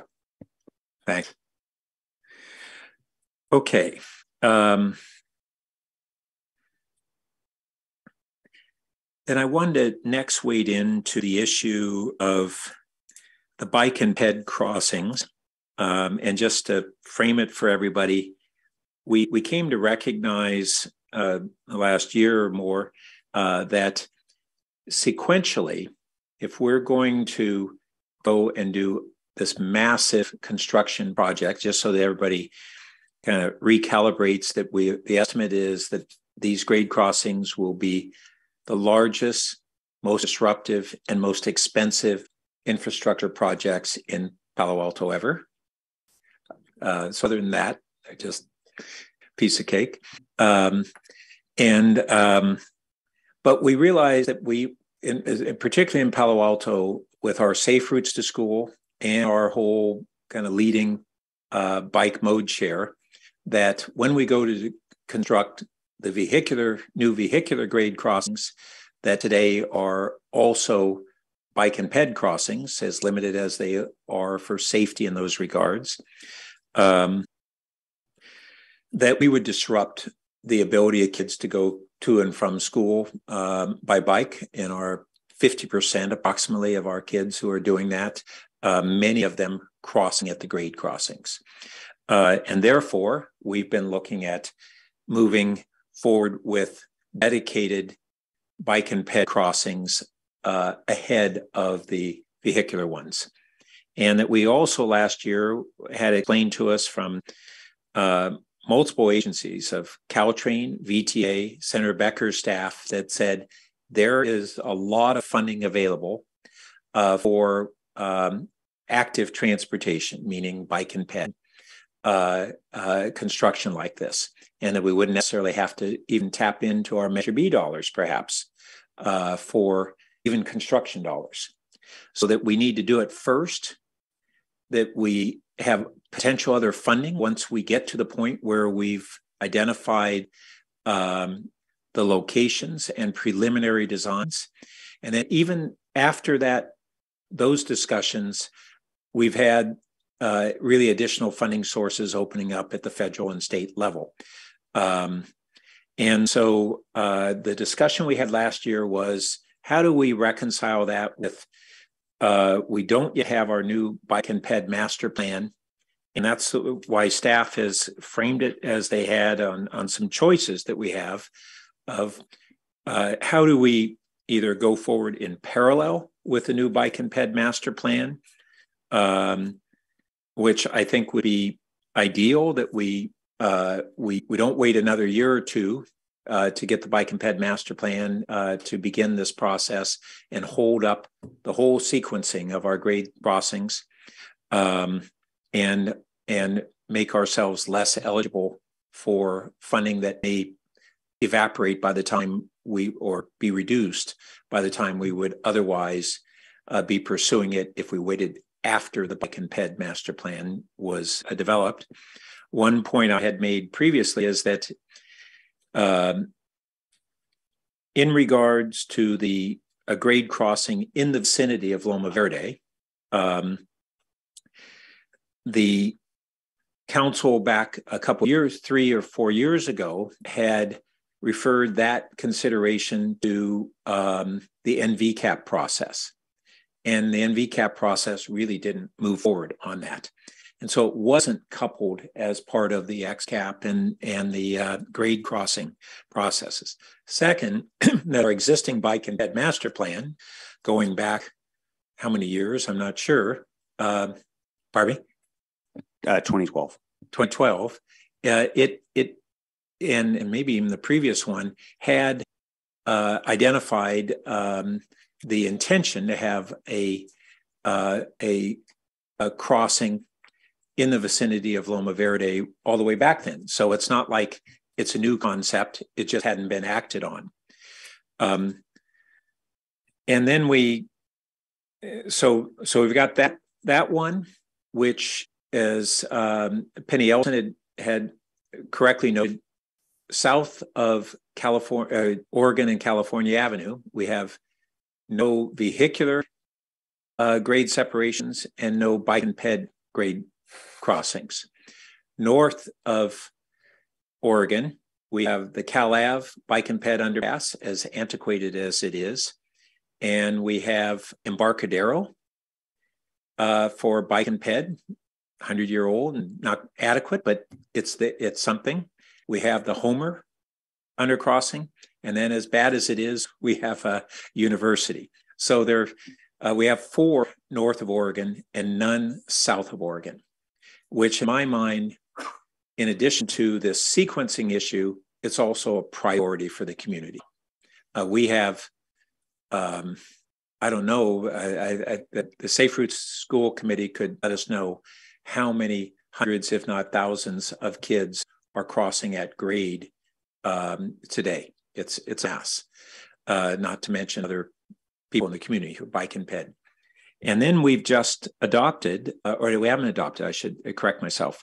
Uh, referred to a future council meeting as a work plan priority. The safe systems uh, or you could think uh, also called safe streets, which are to really look at, at integrated safe systems for cars, bikes, and pedestrians. And I would say that great at grade crossings uh, are um, certainly high on that list of areas that we are risks to safety, and yet more complicated and more expensive to solve than many of the other solutions that we have. That's all a big wind up to saying um, that uh, I would like to encourage us to um, uh, look at how do we move forward on basically the decision to uh, pursue bike and ped grade separations in South Palo Alto um, sooner rather than later.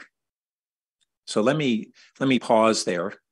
Uh, first, asking Philip if you have any feedback, and then my colleagues um, on that that concept. Okay. Uh, actually, I have quite a bit of feedback. I almost think this could be a whole meeting where we just discuss this. Um, but just, uh, yeah, and, and sorry, just to dive in really quickly, I want to first state that when we plan construction of whichever alternative we select at the Charleston, Meadow, Churchill, all of these, we would tend to include mitigations for bicycles and pedestrians to get through, even if on a temporary basis. Um, Ripon actually, in his prior life, has constructed a temporary vehicular access. So not a comped, but a temporary vehicular access that was built, a bridge that was built to go over a bridge that was getting built. So just to, to note that we would make sure that bicycle and pedestrian access is not removed when we're in construction. Um, we would make sure that we maintain bicycle and pedestrian access. So I just want to put that out there. Then a secondary issue that I want to note in all this is relating to um, what uh, member Lauing had mentioned earlier, which is there's a lot of dependencies. One such dependency for starting um, uh, additional crossing is figuring out whether the rail is going up or the rail is going down because we don't know if we're looking at a tunnel. We don't look, know if we're looking at an overcrossing. We don't know really what we're looking at until we know that. So I just want to note that as, as one of the. Can I pause because I realized one, I didn't mention one thing, and second on that. So the crossing in the vicinity of Loma Verde would be outside of either elevating or depressing tracks. Uh, pardon me? I think he said it may not be. It kind of depends on the alternative selected.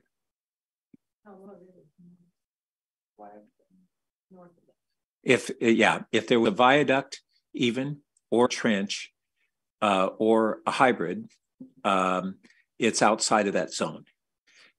Um, and then I didn't, the other thing I neglected to mention is uh, that on this list, so in the vicinity of Loma Verde, it is in the southern part of Palo Alto, but it's the, the northern one third of that southern part. So we haven't been able to, and this ties into what you're saying, Philip, is that uh, south of there, however we deal with bikes and peds, gets tied in with the design for the vehicular separation.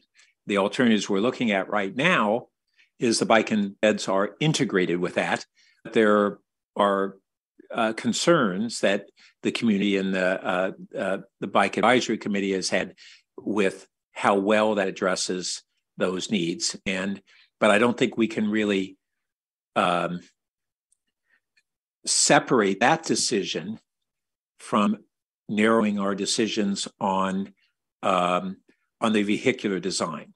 It could mean that we would have a dedicated um, uh, bike and ped crossing.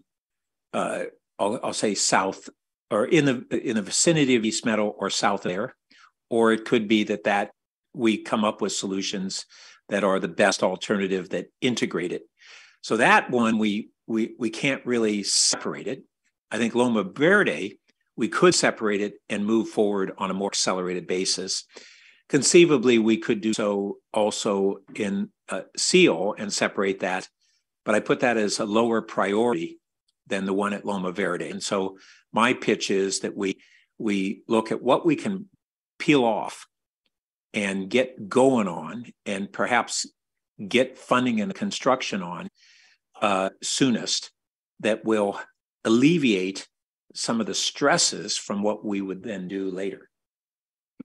Sorry for that interruption. That's quite all right. I think Ripon's trying to pull up the hybrid, which it looks like might be right up against Loma Verde. Um, so j- just want to note that. Um, but uh, uh, regardless of that, stepping back, uh, what we've set up and what council has directed us to do is to use the bicycle and pedestrian transportation plan to um, look at the possibility for new east-west crossings. Um, we do believe that public engagement is necessary, even for Loma Verde, because our understanding is that there was negative, severe negative reaction from some members of the public to that crossing. Um, we also want to look at our bicycle and pedestrian network as a whole. We want to look at it holistically. We want to make sure that we're not just building a crossing that doesn't connect anything. And so that that is one of the keys in, in our bicycle and pedestrian transportation plan is to look at the entire entirety of the city and how the bicycle network connects. So that is one of the first parts of our work that we'll be doing in the bicycle and pedestrian transportation plan is doing community outreach to make sure that we are hearing um, how our community wants to see our uh, bicycle and pedestrian network function. Um, I'm I'm not sure if I fully answered your question. Um, I would just say that you know we we had looked at an east west need in that same vicinity back in 2015 or so when we looked at whether we could have a dedicated off road bike route uh, in the Matadero Creek uh, uh, Valley Water right away. So it was really identified and considerable work pursued on something that we found that we couldn't fit it in there, but that's already established and a whole bunch of work and a whole bunch of recognition that what we'll call an east west route there is severely lacking. I don't think that's an open issue. And then we've had this discussion within multiple years of the NVCAP that said we need to have that bike route go through there and hopefully ultimately have a better connection all the way to, to what we'll call the north south route of Bol Park.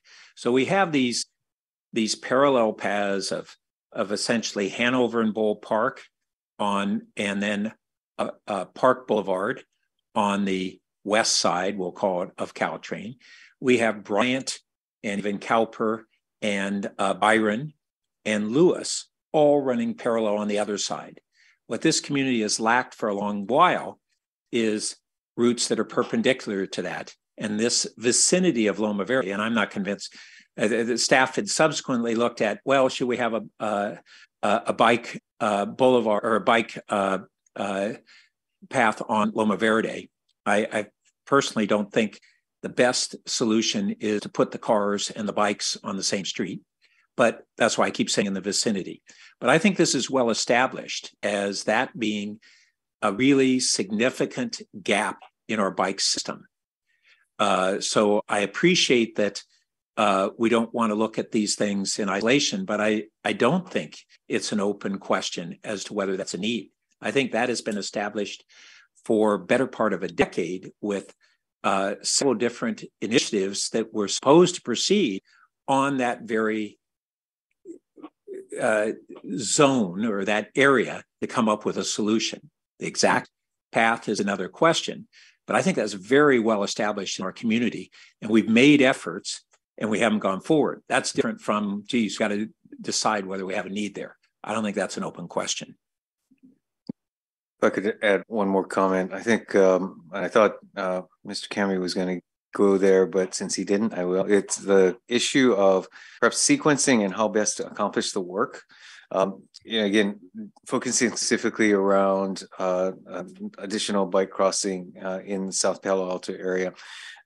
For better or for worse, what we have done in the uh, the Churchill area has been to look at the bike crossings as an element of the bike transportation plan and uh, more physically look at the the options related to the uh, uh, the the crossing itself at at Churchill.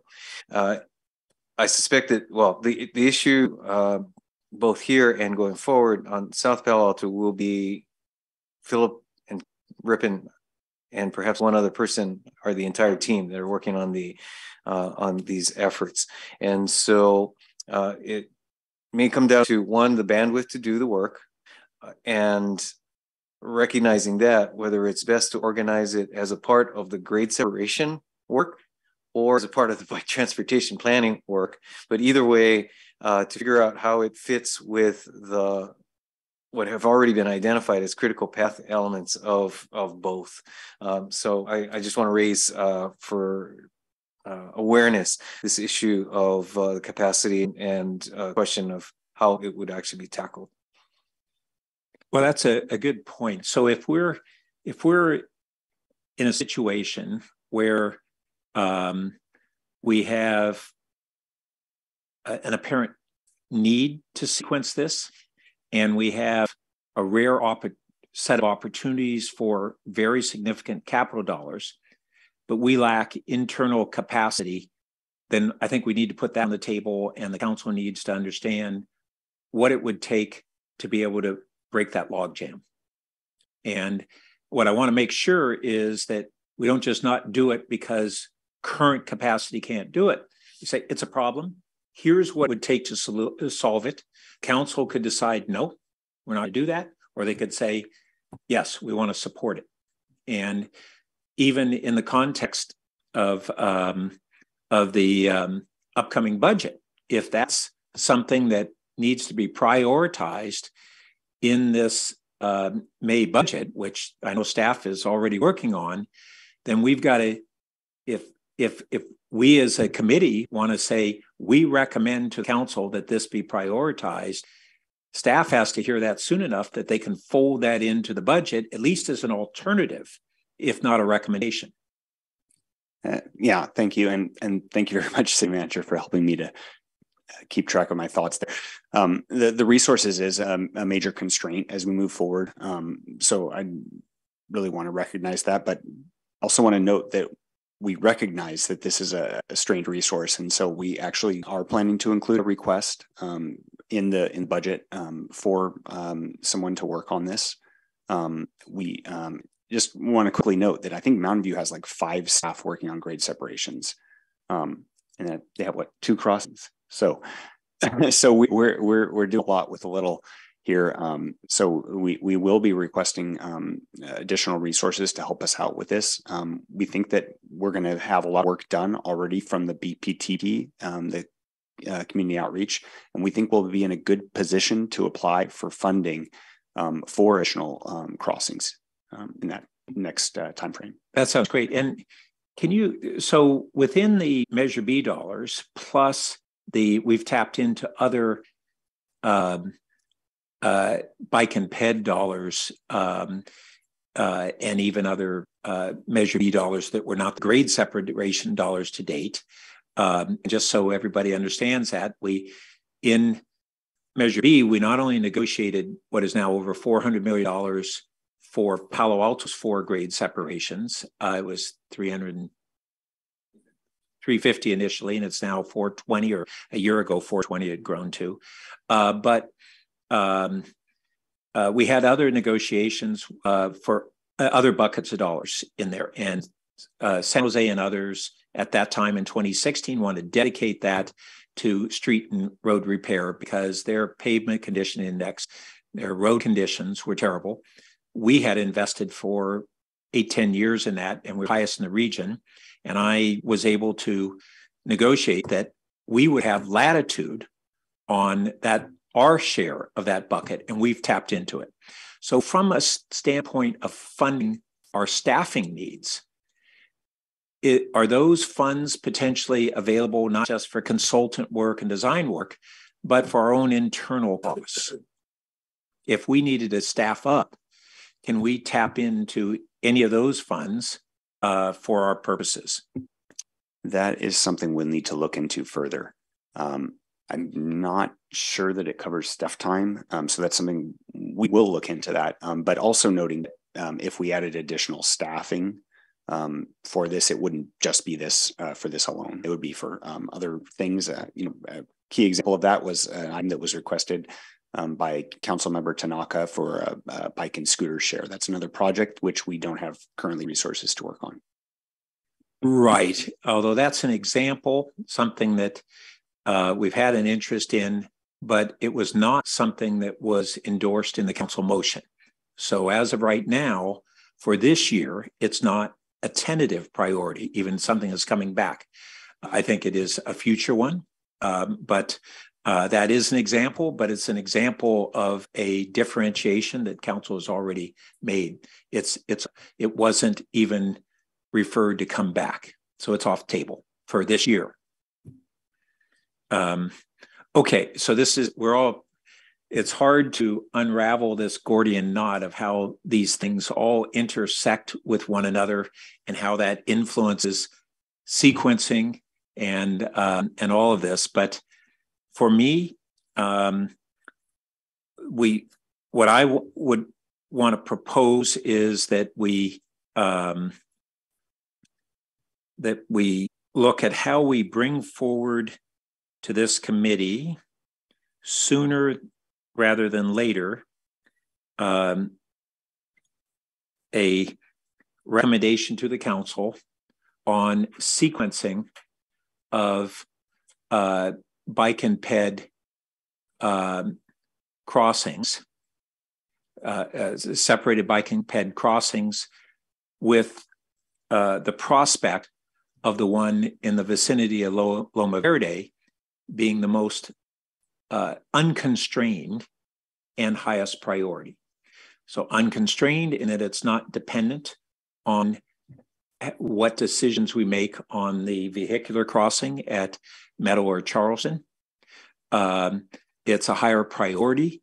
We believed in seal. We have this, uh, and we haven't talked about it, but we have an upgrade at uh, at Churchill on the existing at grade crossing uh, that is supposed to get start construction already in this this year. Is that correct? On the just the whole Churchill improvements on bike thoroughfare there. Oh yes, uh, sorry. Um, you're asking about the Churchill Avenue Enhanced Bikeways project. Yes. Um, and sorry, your question was. Well, eh, that's already. Uh, that's already moving forward. It's moving forward, yes. and so um, even though that doesn't answer the question of what our ultimate grid separated crossing would be there, it is a significant improvement that is already in the CIP, right?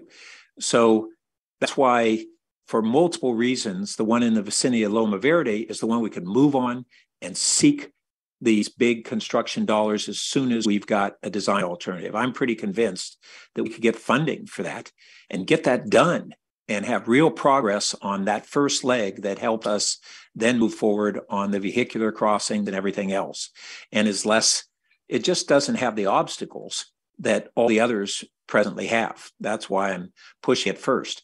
Um, and uh, and then hopefully we will soon refine the Meadow and Charleston alternatives so that we would then know whether we're dealing with a dedicated crossing or an integrated crossing for bison peds. We don't know that yet.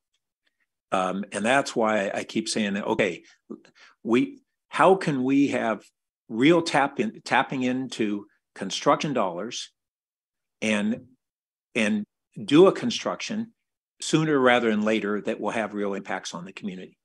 And I think that that's the one that stands out. It needs to come first, and uh, probably needs to come first, and it it's discrete. Uh, it's not dependent on some other item on a critical path, uh, and that's that's why I keep pushing this. And it has a well-developed history of established that we we need an east-west route in that approximate location. Now we we haven't decided on the location. That would be part of of uh, the the decision making once we say we want to prioritize that and refine. We'd have to figure out okay where do we put it exactly, and that's not simple. But um, but that is focused and something we can accomplish and something that I'm convinced we could get funding for lickety split. My pitch. Okay. Uh, that was a lot on that, but sounds like you got yeah, your checkbook yeah, ready. Yeah. Uh, I got somebody else's checkbook um, in mind. It's not yours, don't worry. Um, okay. Uh, that was a lot on that, but you know, it's, it's what do we move on first and what what are our sequences and all these things are tied together. Um, so let's see, we've gone through a lot of this now uh, on the tentative plan. Um, as phil mentioned, the San Francisquito uh, Creek Bridge replacement, we're pushing Caltrain to uh, come back to us on um, uh, the option of repair rather than replacement for the bridge. Um, I've raised issues with them on what they've allowed of the de degradation of that bridge uh, over a multiple decade period. Um, so I've sent them photographs of rust, massive rust. I have to quickly note that I think that our in-person meeting with them was due to those photographs. Oh, good, good. They're not copyrighted. Um, okay, um, and then um, so then we've got, uh, we have this item, uh, updates on funding and legislative information uh, and opportunities for grade separations. So let's just touch on that a little bit. Uh, my understanding is that really to, to have, we have certain funding to help us with uh, furthering the uh, selection uh, and design, preliminary design, which are the prerequisites to tap into the big dollars. Um, is that correct? That we can you can you tell us what this? Let's break that item, which is the uh, sixth one on your tentative schedule. Um, break it down between um, maybe three parts to that question. Maybe that's what we do even when we talk about the agenda. One is the um, the funding for um, uh, uh, to proceed on the selection of preferred alternative, and then the uh, preliminary design, which are the two steps that are needed to qualify us for the construction dollars. Um, and then the third part of that uh, is um, well, then the construction dollar funding pursuit, where that might be. And lastly, legislative aspects, which are different from funding, pursuing funding from existing buckets. So, um, can you speak a little bit to um, where we stand on available dollars um, uh, for proceeding on design alternatives and then dollars um, for preliminary design? the things that need to be teed up to qualify for the big construction dollars. Uh, thank you. Uh, okay, so let me try my best here, and Ripon might have to jump in. But So we have Measure B grade separation dollars, which we've received um, permission from VTA to utilize, or I guess really not permission is not the right word, but their uh, yeah, really their their agreement with us that we can use that funding to pursue our additional studies um, that we believe are um, part of this, I guess, as you would call it, conceptual design days. Um, in order to help us complete our selection. So we've got that funding. As you referenced earlier, we also have the Measure B local streets and roads because our um, pavement condition index is high enough that we can use that funding for congestion relieving activities. So that's a question I'll have to come back to about the staffing. Um, um, um, really what this issue is or this item is intended to encapsulate is a whole bunch of unknowns. Um, but i'll just list some of them. They're grant funds that we're applying for on an ongoing basis. Um, we've applied for mega which is a uh, grant program a federal grant program infra which is also a federal grant program. Um, as i mentioned earlier in the update today um, we've applied for infra um, or wait i'm sorry inf, i'm sorry uh, TIRCP. Sorry, I said infra already. Um, just uh, five days ago, that application was due. Um, so th- that's the the primary thing here. But this is kind of a catch-all for anything else that might come up in relation to any other funding opportunities that arise. Um, another one, um, what is it? The Section 130 funds, one 190 funds, that the um, FRA 190 funds. Um, uh, so any of those other funding sources that may come into play. Um, you referenced earlier preliminary design, uh, the P, uh, that that phase actually. Um, it could be that we apply for funding only for that phase or for uh, multiple phases, even through construction. But some of what we believe will make us more competitive is getting to a selected alternative for all of our um, locations. Uh, right now, we're we need to prioritize, or often when we apply for these grants, we need to prioritize, and it um, I believe makes us less competitive if we don't have a selected alternative. And, and you said for all of them, but really, you know, uh, we're not likely to get construction dollars at once for, for that would cover all three. Uh, and so uh, maybe I'd, I'd suggest that uh, getting to one of them with a preferred alternative and, and preliminary design moves us up in the queue for that one, whichever that may be. And so that goes back to just like with bike and ped one, we need to tee, tee up uh, our, our first in sequence, which hopefully is also our highest priority. Um, uh, so that we be, we get eligible uh, for we get in line as soon as possible. Um, and uh, and I don't know uh, which that'll be. It's tied in with these other issues, but but uh, we'll have to see what emerges. I'm I'm trying to think back in my memory, but I believe that council had prioritized Charleston, Med, Meadow Charleston in, in that order. So that's um, following that. That's how we are applying currently. I'm thank you for that clarification, and I fully agree with with doing uh, prioritizing that. Um, and the where we stand right now is we're probably further uh, along narrowing our alternatives for Churchill, but our higher priority is Charleston East Meadow, and that's where I was referring to trying to align our priorities with our sequencing. Um, so that that really further reiterates to us as a group um, how do we have the focus on on that just like earlier in this conversation we said well part of this is can we remove the reconsideration of uh, of the trench if we just don't have an option due to needing to have a four track placeholder and should we bring back and let council decide whether they want to reevaluate a viaduct, not all of South Palo Alto, but just for those two crossings. And I don't know the answer to that. Uh, Nadia, do you have something? I, I was just going to point out, um, the, well, first, exactly what you were saying is that our priority, the council's direction was Meadow Charleston, but we seem to be moving faster on Churchill. But I do want to recognize, I, I had spoken to Ripon before the meeting about the fact that the plan, this plan doesn't at all talk about when do we start looking at alternatives for Palo Alto Avenue? And I recognize that this is just a year, year and a half out, and that is probably more of a delayed conversation. But I do worry about, you know, we're pushing back on Caltrain that the replacement of the San Francisquito Creek Bridge should be a rehabilitation and not a full replacement.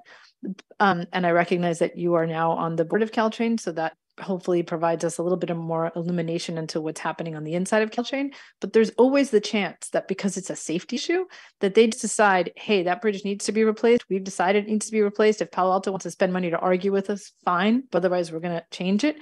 And what that does is that it puts our options for Palo Alto Avenue in jeopardy. So I wanted to highlight the fact that I understand and appreciate that we have a big staffing challenge and that poor Ripon and Philip are juggling more things than the Cirque du Soleil people at this point. But um, we've we we really should not drop the ball on what happens around Palo Alto Avenue. And um, you know, this is part of the Gordian knot that relates to Stanford, because of course they own the station area. And so while you think about your response about the community plan that Stanford has and you know what's going on with the now deceased GUP, but whatever the new iteration of that is, we kind of have to have that conversation in tandem. And so I know that there's been some consideration of having an ad hoc committee for Stanford. I want to make sure that this is part of that conversation because you may be forced to, to deal with Palo Alto Avenue ahead of all of them, and then we're going to be caught completely flat-footed. So let me touch on that. So first, we have an ad hoc committee, um, and um, and that I, I think maybe what we should add to our list is a kind of placeholder, lower priority or sequence, but around the three parts of this uh, the the Creek Bridge replacement, Palo Alto Avenue, and intermodal station. Big projects, uh, uh, hopefully not as immediate as the others, um, but a reason to um, even include them within this year's work plan, lower priority than these more pressing issues, includes um, at the the role of the intermodal station and how outdated it is, and that it's not only the highest boardings in the Caltrain system at the moment, but as of a number of years ago, uh, it, it, had this shocking number of 900 buses uh, that were loaded per day there. Just uh, it's a quiz test to ask anybody to take guess, and we'll all lowball it by two thirds at best. Um, and connected with that is a question of in the 2000 Measure A um, for uh, VTA funding was a lot of money dedicated toward Dumbarton rail crossing and secondarily toward, and this is the one that uh, is often forgotten, the Palo Alto Intermodal Center. Those dollars both got transferred to BART, um, which was a big part of why we negotiated so hard on Measure B to make sure that can happen again. And that's been largely successful. Nevertheless, this has been recognized for decades as a major um, uh, critical part of county transportation and Caltrain, and the VTA had had funding, and there's a question of whether there are still Measure A dollars that have been undetermined in their their allocation that we could tap into, or other funding sources. I mean, we've looked at MTC and, and VTA has talked about helping us there. And now, more recently, in the Caltrain discussion, at our last uh, board meeting, we had a uh, action item on the negotiation guiding principles for Caltrain negotiating with the Joint Power Authority for what's been called the DTX uh, terminal to date. They're renaming it. Hopefully, not an acronym. Uh, huh? The portal. Called portal. The portal. Uh, but the downtown uh, intermodal station. Um, and uh, that's racing forward because it potentially has massive federal dollars uh, in funding and huge political support um, from very uh, powerful federal and state officials with an interest in that.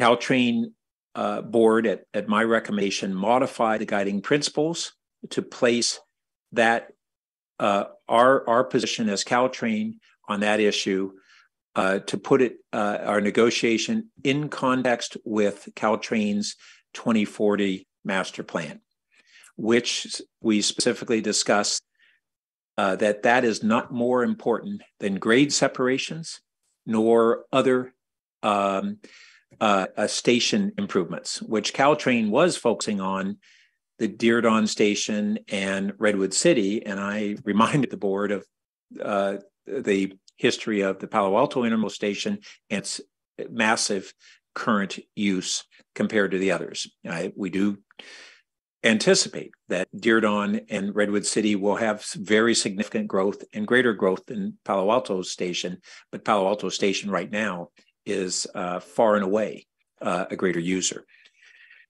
So that all goes into what Nadia was talking about of we we need to make sure that we are bearing in mind uh, both that that's on our future list and that having preliminary uh, involvement with it may tee up funding uh, that we need to be discussing with these agencies now, even if we aren't ready to move on this as a project because we have so much else on our plate. So, um, how that all fits in, uh, we don't know. Uh, but I think it's important that it not be off our list, that we recognize it's not uh, our most immediate priority, uh, but it is there and of high importance. And we don't want to uh, let huge funding opportunities go by the wayside um, uh, because we we we aren't even looking at them. Uh, thank you. Uh, just really quickly to explain kind of our, our internal priority and let us know if, if we're thinking about this incorrectly, but our internal strategy was to get one of the other um, locations under into the next phase so that Ripon has the capacity to take on Palo Alto Avenue. But certainly your, your point is well taken about adding it to the list and maybe it's like a, you know, um, uh, I guess placeholder or strategizing. Yeah. And we, yeah, I think maybe that's the way we're really talking about is let's get on the list for strategizing as opposed to a bunch of staff resources or otherwise. And, and I agree with you that I think we're all in agreement that we're not talking about throwing it into the, the, the same sequence or priority as the other things, but uh, keeping our eye on the future ball. I just wanted to flag for you, Council Member Burt, the same way Ripon and Philip are doing a great job of kind of looking for grant opportunities that come up. There's a team of Ripon and Philip equivalents on the Caltrain side who's basically taking every opportunity that they can to get replacement money. And that bridge qualifies under the state of good repair stuff because it's really old.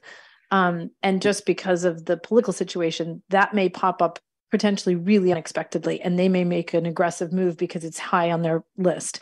And so it I, I, mean not that you're not already aware but it's complicated because the alternative one of the alternatives to palo alto avenue is relates not just to the bridge but if you have something elevated, that also goes into Menlo Park, which crosses county lines, which now crosses funding lines because San Mateo County is on a different funding program. They don't have Measure B.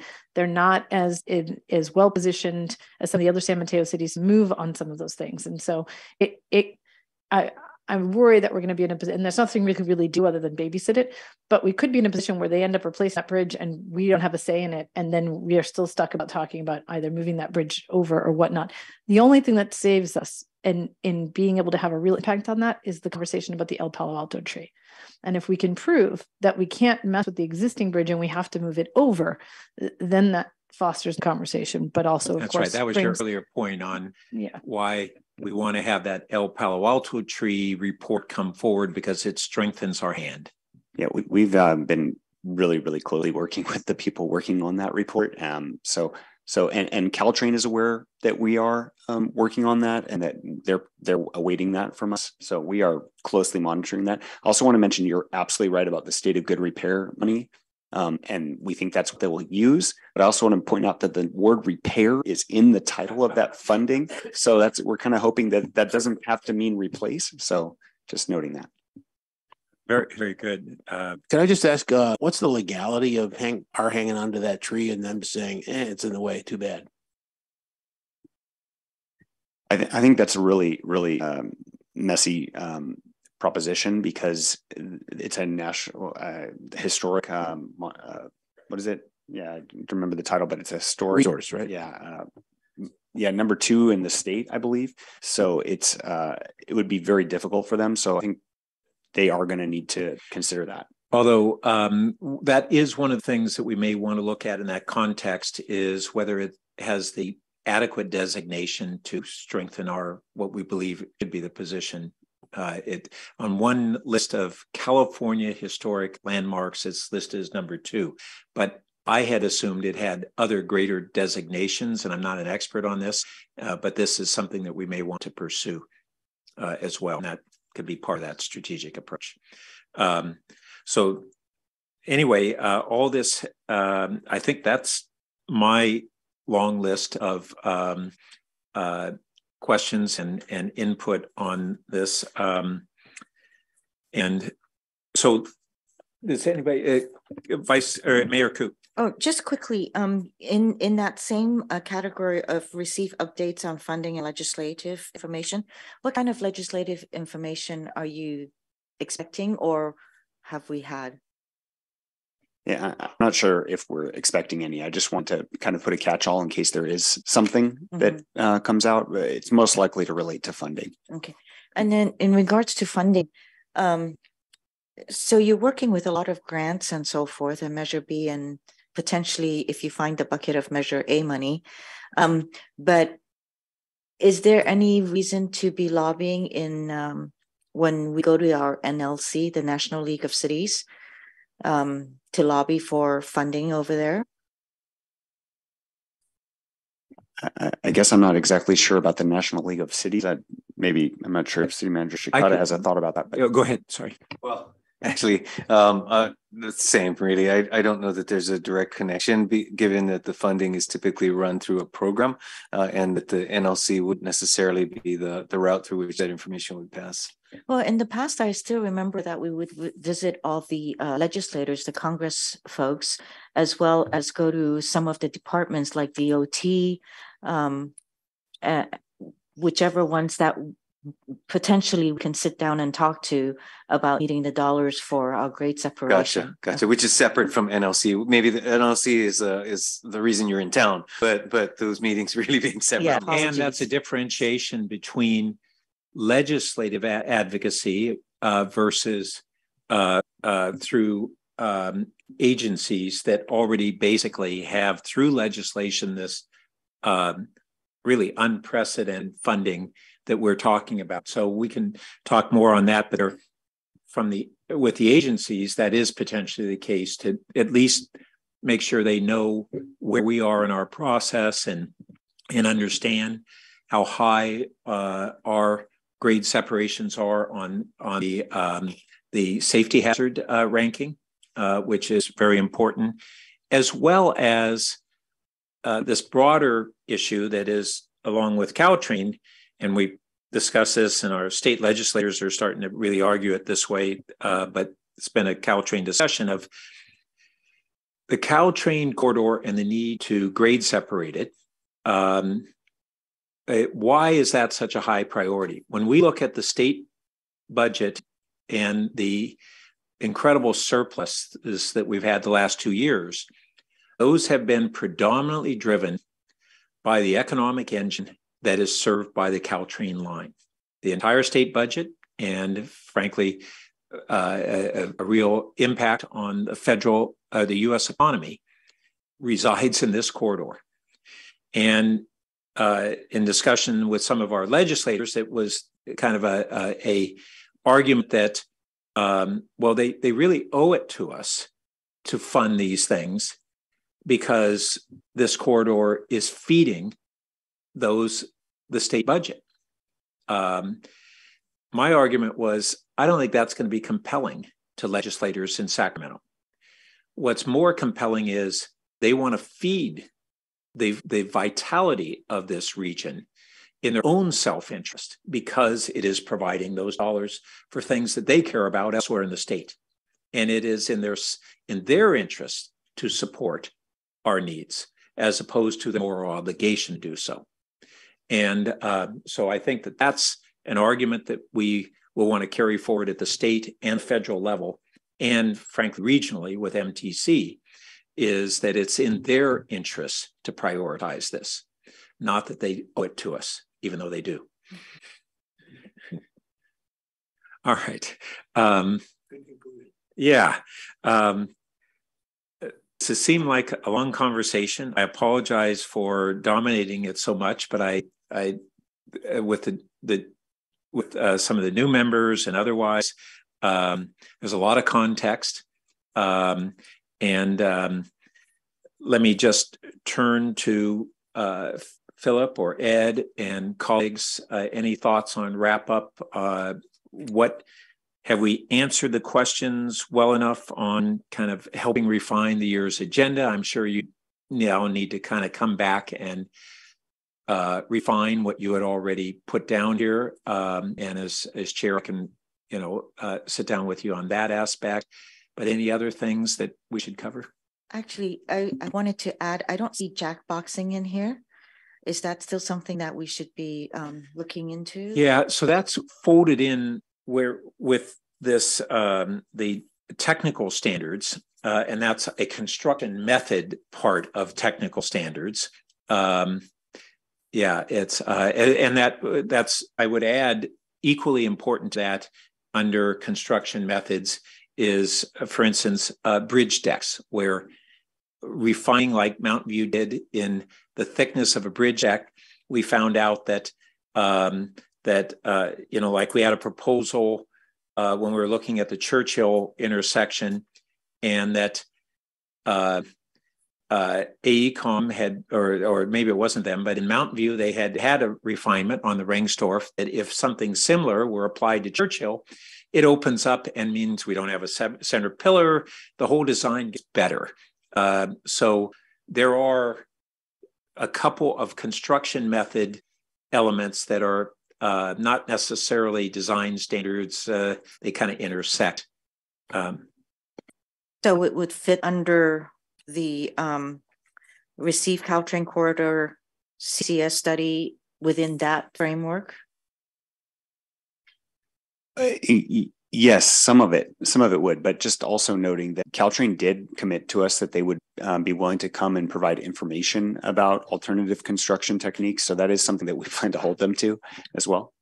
Okay, very good. And it also fits in the fourth row uh, of the tentative schedule, which is the service agreement. Would we have them uh, review what we want as kind of one-offs uh, versus what you were describing under the one on this uh, corridor crossing strategy. And then a third sounds like it might be outside either of those that they had volunteered to come forward. So kind of three buckets. They are all related to how do we get uh, a refinement in what they will let us do that allows us to construct these things with that are better designs and or at lower cost or uh, uh, lower impacts on the community from construction time frame, all those things. So those are that's the bucket uh, and several different paths that we can take to getting to that end point.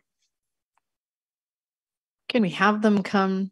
It'd be really great to get a, a Caltrain given presentation on jack box construction prior to you guys as a council deciding whether or not you want to keep the trench or put on a viaduct or talk about the hybrid. I mean, it would, if they've got information that they can give us, it would be interesting to sort of hear them and in some ways let them sell their services if you well maybe that begs uh, on next uh, upcoming agendas.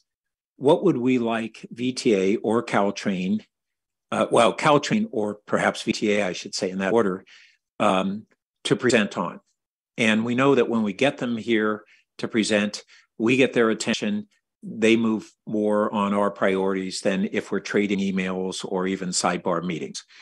Um, so, uh, any thoughts on what we should be looking for Caltrain to come back and report out and or or provide presentations on in the next one or two meetings? Yeah, well, I think some of that does tie to that fourth item that you had referenced the, the standard agreement. Um, but the one thing that Caltrain had um, committed to doing was talk about alternative construction methods. I think that's something that they can talk about outside of either the study or the um, service agreement. I think that they were willing to talk about that. And so I do think that's something that maybe we can, as long as the dates work, we can get them to come to one of our uh, upcoming meetings. Well, since we're trying to hold our feet and their feet to the fire, um, why don't we see whether even the March meeting uh, we could piecemeal that, and and you know all the better if we don't ask them to do too many things in a single meeting. We have them in a series of meetings on different subtopics. They had very specifically said that they gave a presentation to the city of Mountain View about jacked box construction. So hopefully this isn't something that you know this is something they can just repeat, not new material. Sounds good. Ed. Uh, yeah, I just want to comment that um, understanding the priorities for the four and that um, Churchill is not one of the priorities. It is one of the projects. So we basically have four projects. I'm sorry. Uh, so did you mean Churchill or Palo Alto Avenue is not? No, I meant that uh, Churchill is not as high a priority as uh, right. It's a priority, just yeah, uh, not quite as high. yeah. They're they're all priorities. This is just I mean, you were talking about staging and phasing. um, if we're lucky enough to get the answers that says, "Hey, this uh, the proposal that we're checking out right now, if the uh, partial underpass works, then I think we should do it. You know, move forward on it because we don't want to. As much as I love priorities, uh, we don't say, "Well, yeah, but it's not our highest priority." So let's wait till we get the you know trenching figured out uh, further down the tracks, because that would give us. Um, action, which talks to people about funding us uh, and shows shows us that we're active, and also shows the citizens that we're active. But based on data, when we finally got the data, we could make a decision, and now we're going to go for it. So um, I don't. I hope that doesn't sound like I'm talking about both sides of my mouth. Mouth. I'm just saying if we get the data on Churchill and it's you know we can go ahead with this, then I think we should do that, even though we'd rather go first on uh, Meadow. Well, I think that that raises the valid question and why I, I was really uh, repeatedly talking about prioritization independent of sequencing. And I don't think that that's something we would want to decide at this point in time, but there may be a crunch point at which that becomes a decision. Uh, but I wouldn't, I wouldn't at this point in time support that sort of decision just because Churchill appears to be further along in its alternative selection. Totally agree. Yeah. Okay, great. I also wanted to clarify it's technically three projects because Meadow and Charleston are considered one project together and they have to be done together, which actually qualifies us as a mega project, which has a different funding category than necessarily a regular grade separation and kind of makes us special in the world of funding, if I understand. Yeah, that's that's correct. And just noting that we actually consider it a mega project anyways, because we're talking about three grade separations, which we've been applying for, right? Okay. Um, and anything else from staff uh, as wrap up? Uh, yeah, well, I, yes, I just want to say I've got two items that I see um, for the next meeting, um, which is the rail committee to review selection criteria um, at the March meeting, and we'll see if we can get Caltrain if it works at the March meeting um, to talk about um, alternative construction techniques and specifically jackboxing. Um, but I just want to kind of confirm the rest of the list of items. Um, and uh, I'm not sure actually. I'm going to look a little bit at the our, our, attorney here to find out: do we need some sort of action um, for the list of items? It's really, I think this is an agendizing sort of thing. Yeah. I mean, it's up to the chair how if you want to do formal motion about making changes, or if Philip feels like he he and Ripon know, you know, they listen to the conversation, they know what everyone said. Um, it didn't sound like there was too much question about what the topics are and what goes where. Yeah, I think between Philip and myself, and we work together on taking the input here and working out the agenda plan, and then we'll have an opportunity as a committee to review the revised plan. And if we didn't get it right, and you'll set us right. Yeah, and you know, just thinking about a little bit more, it's not like if you make a motion to change this, you can even stick to it, right? I mean, there are things that will be out of your control. There are things that you might want to change anyway. So I think it's enough that, you know, Philip and Ripon have heard what the committee has had to say. There's the video. No, thank you. So you. this is a working work plan that will have That's right. changes. As, Right, as all of our committees really are, you know, And also, as you mentioned, there's a lot of dependencies uh, between these different items. So a lot. Yeah. I was Um, going to hint for staff. Um, in XCAP's report, there's actually a section on suggestions for the um, updates to the criteria. So part of what we referenced in our report was the fact that we had conflicting criteria um, because we had the 2013 Palo Alto rail report, which basically talks about trying to make more east-west crossings. And then we had other documents that pointed to other things. So you might want to look there when you guys are thinking about your staff report to kind of raise how we do have several policy documents that seem to contradict each other um, when we're thinking about these priorities. So make sure we kind of catch everything. And I'm thinking specifically of the the comp plan has things that are not necessarily the same as what was in the criteria and not necessarily the same as what's in that Palo Alto rail report. I think it's 2012 or I forget what 2013 maybe. It's in the XCAP report. And I'm just uh, out as looking forward to both kind of our most immediate, the March and April meetings and focus on the March. So we've got on March, the selection criteria. Um, and then the um, the Caltrain um, construction methods. Uh, is it, was that it? Uh, Yeah, and then just to mention something else that we would be, we would be doing in tandem. uh, Well, a lot of these things we'll be doing in tandem, but one of the other things that we heard is we'll hold on doing the uh, cost um, uh, peer review on the trench alternative. Uh, pending referring to council for an affirmation of that. So it's it's a temporary hold until we can get back to council. Yep.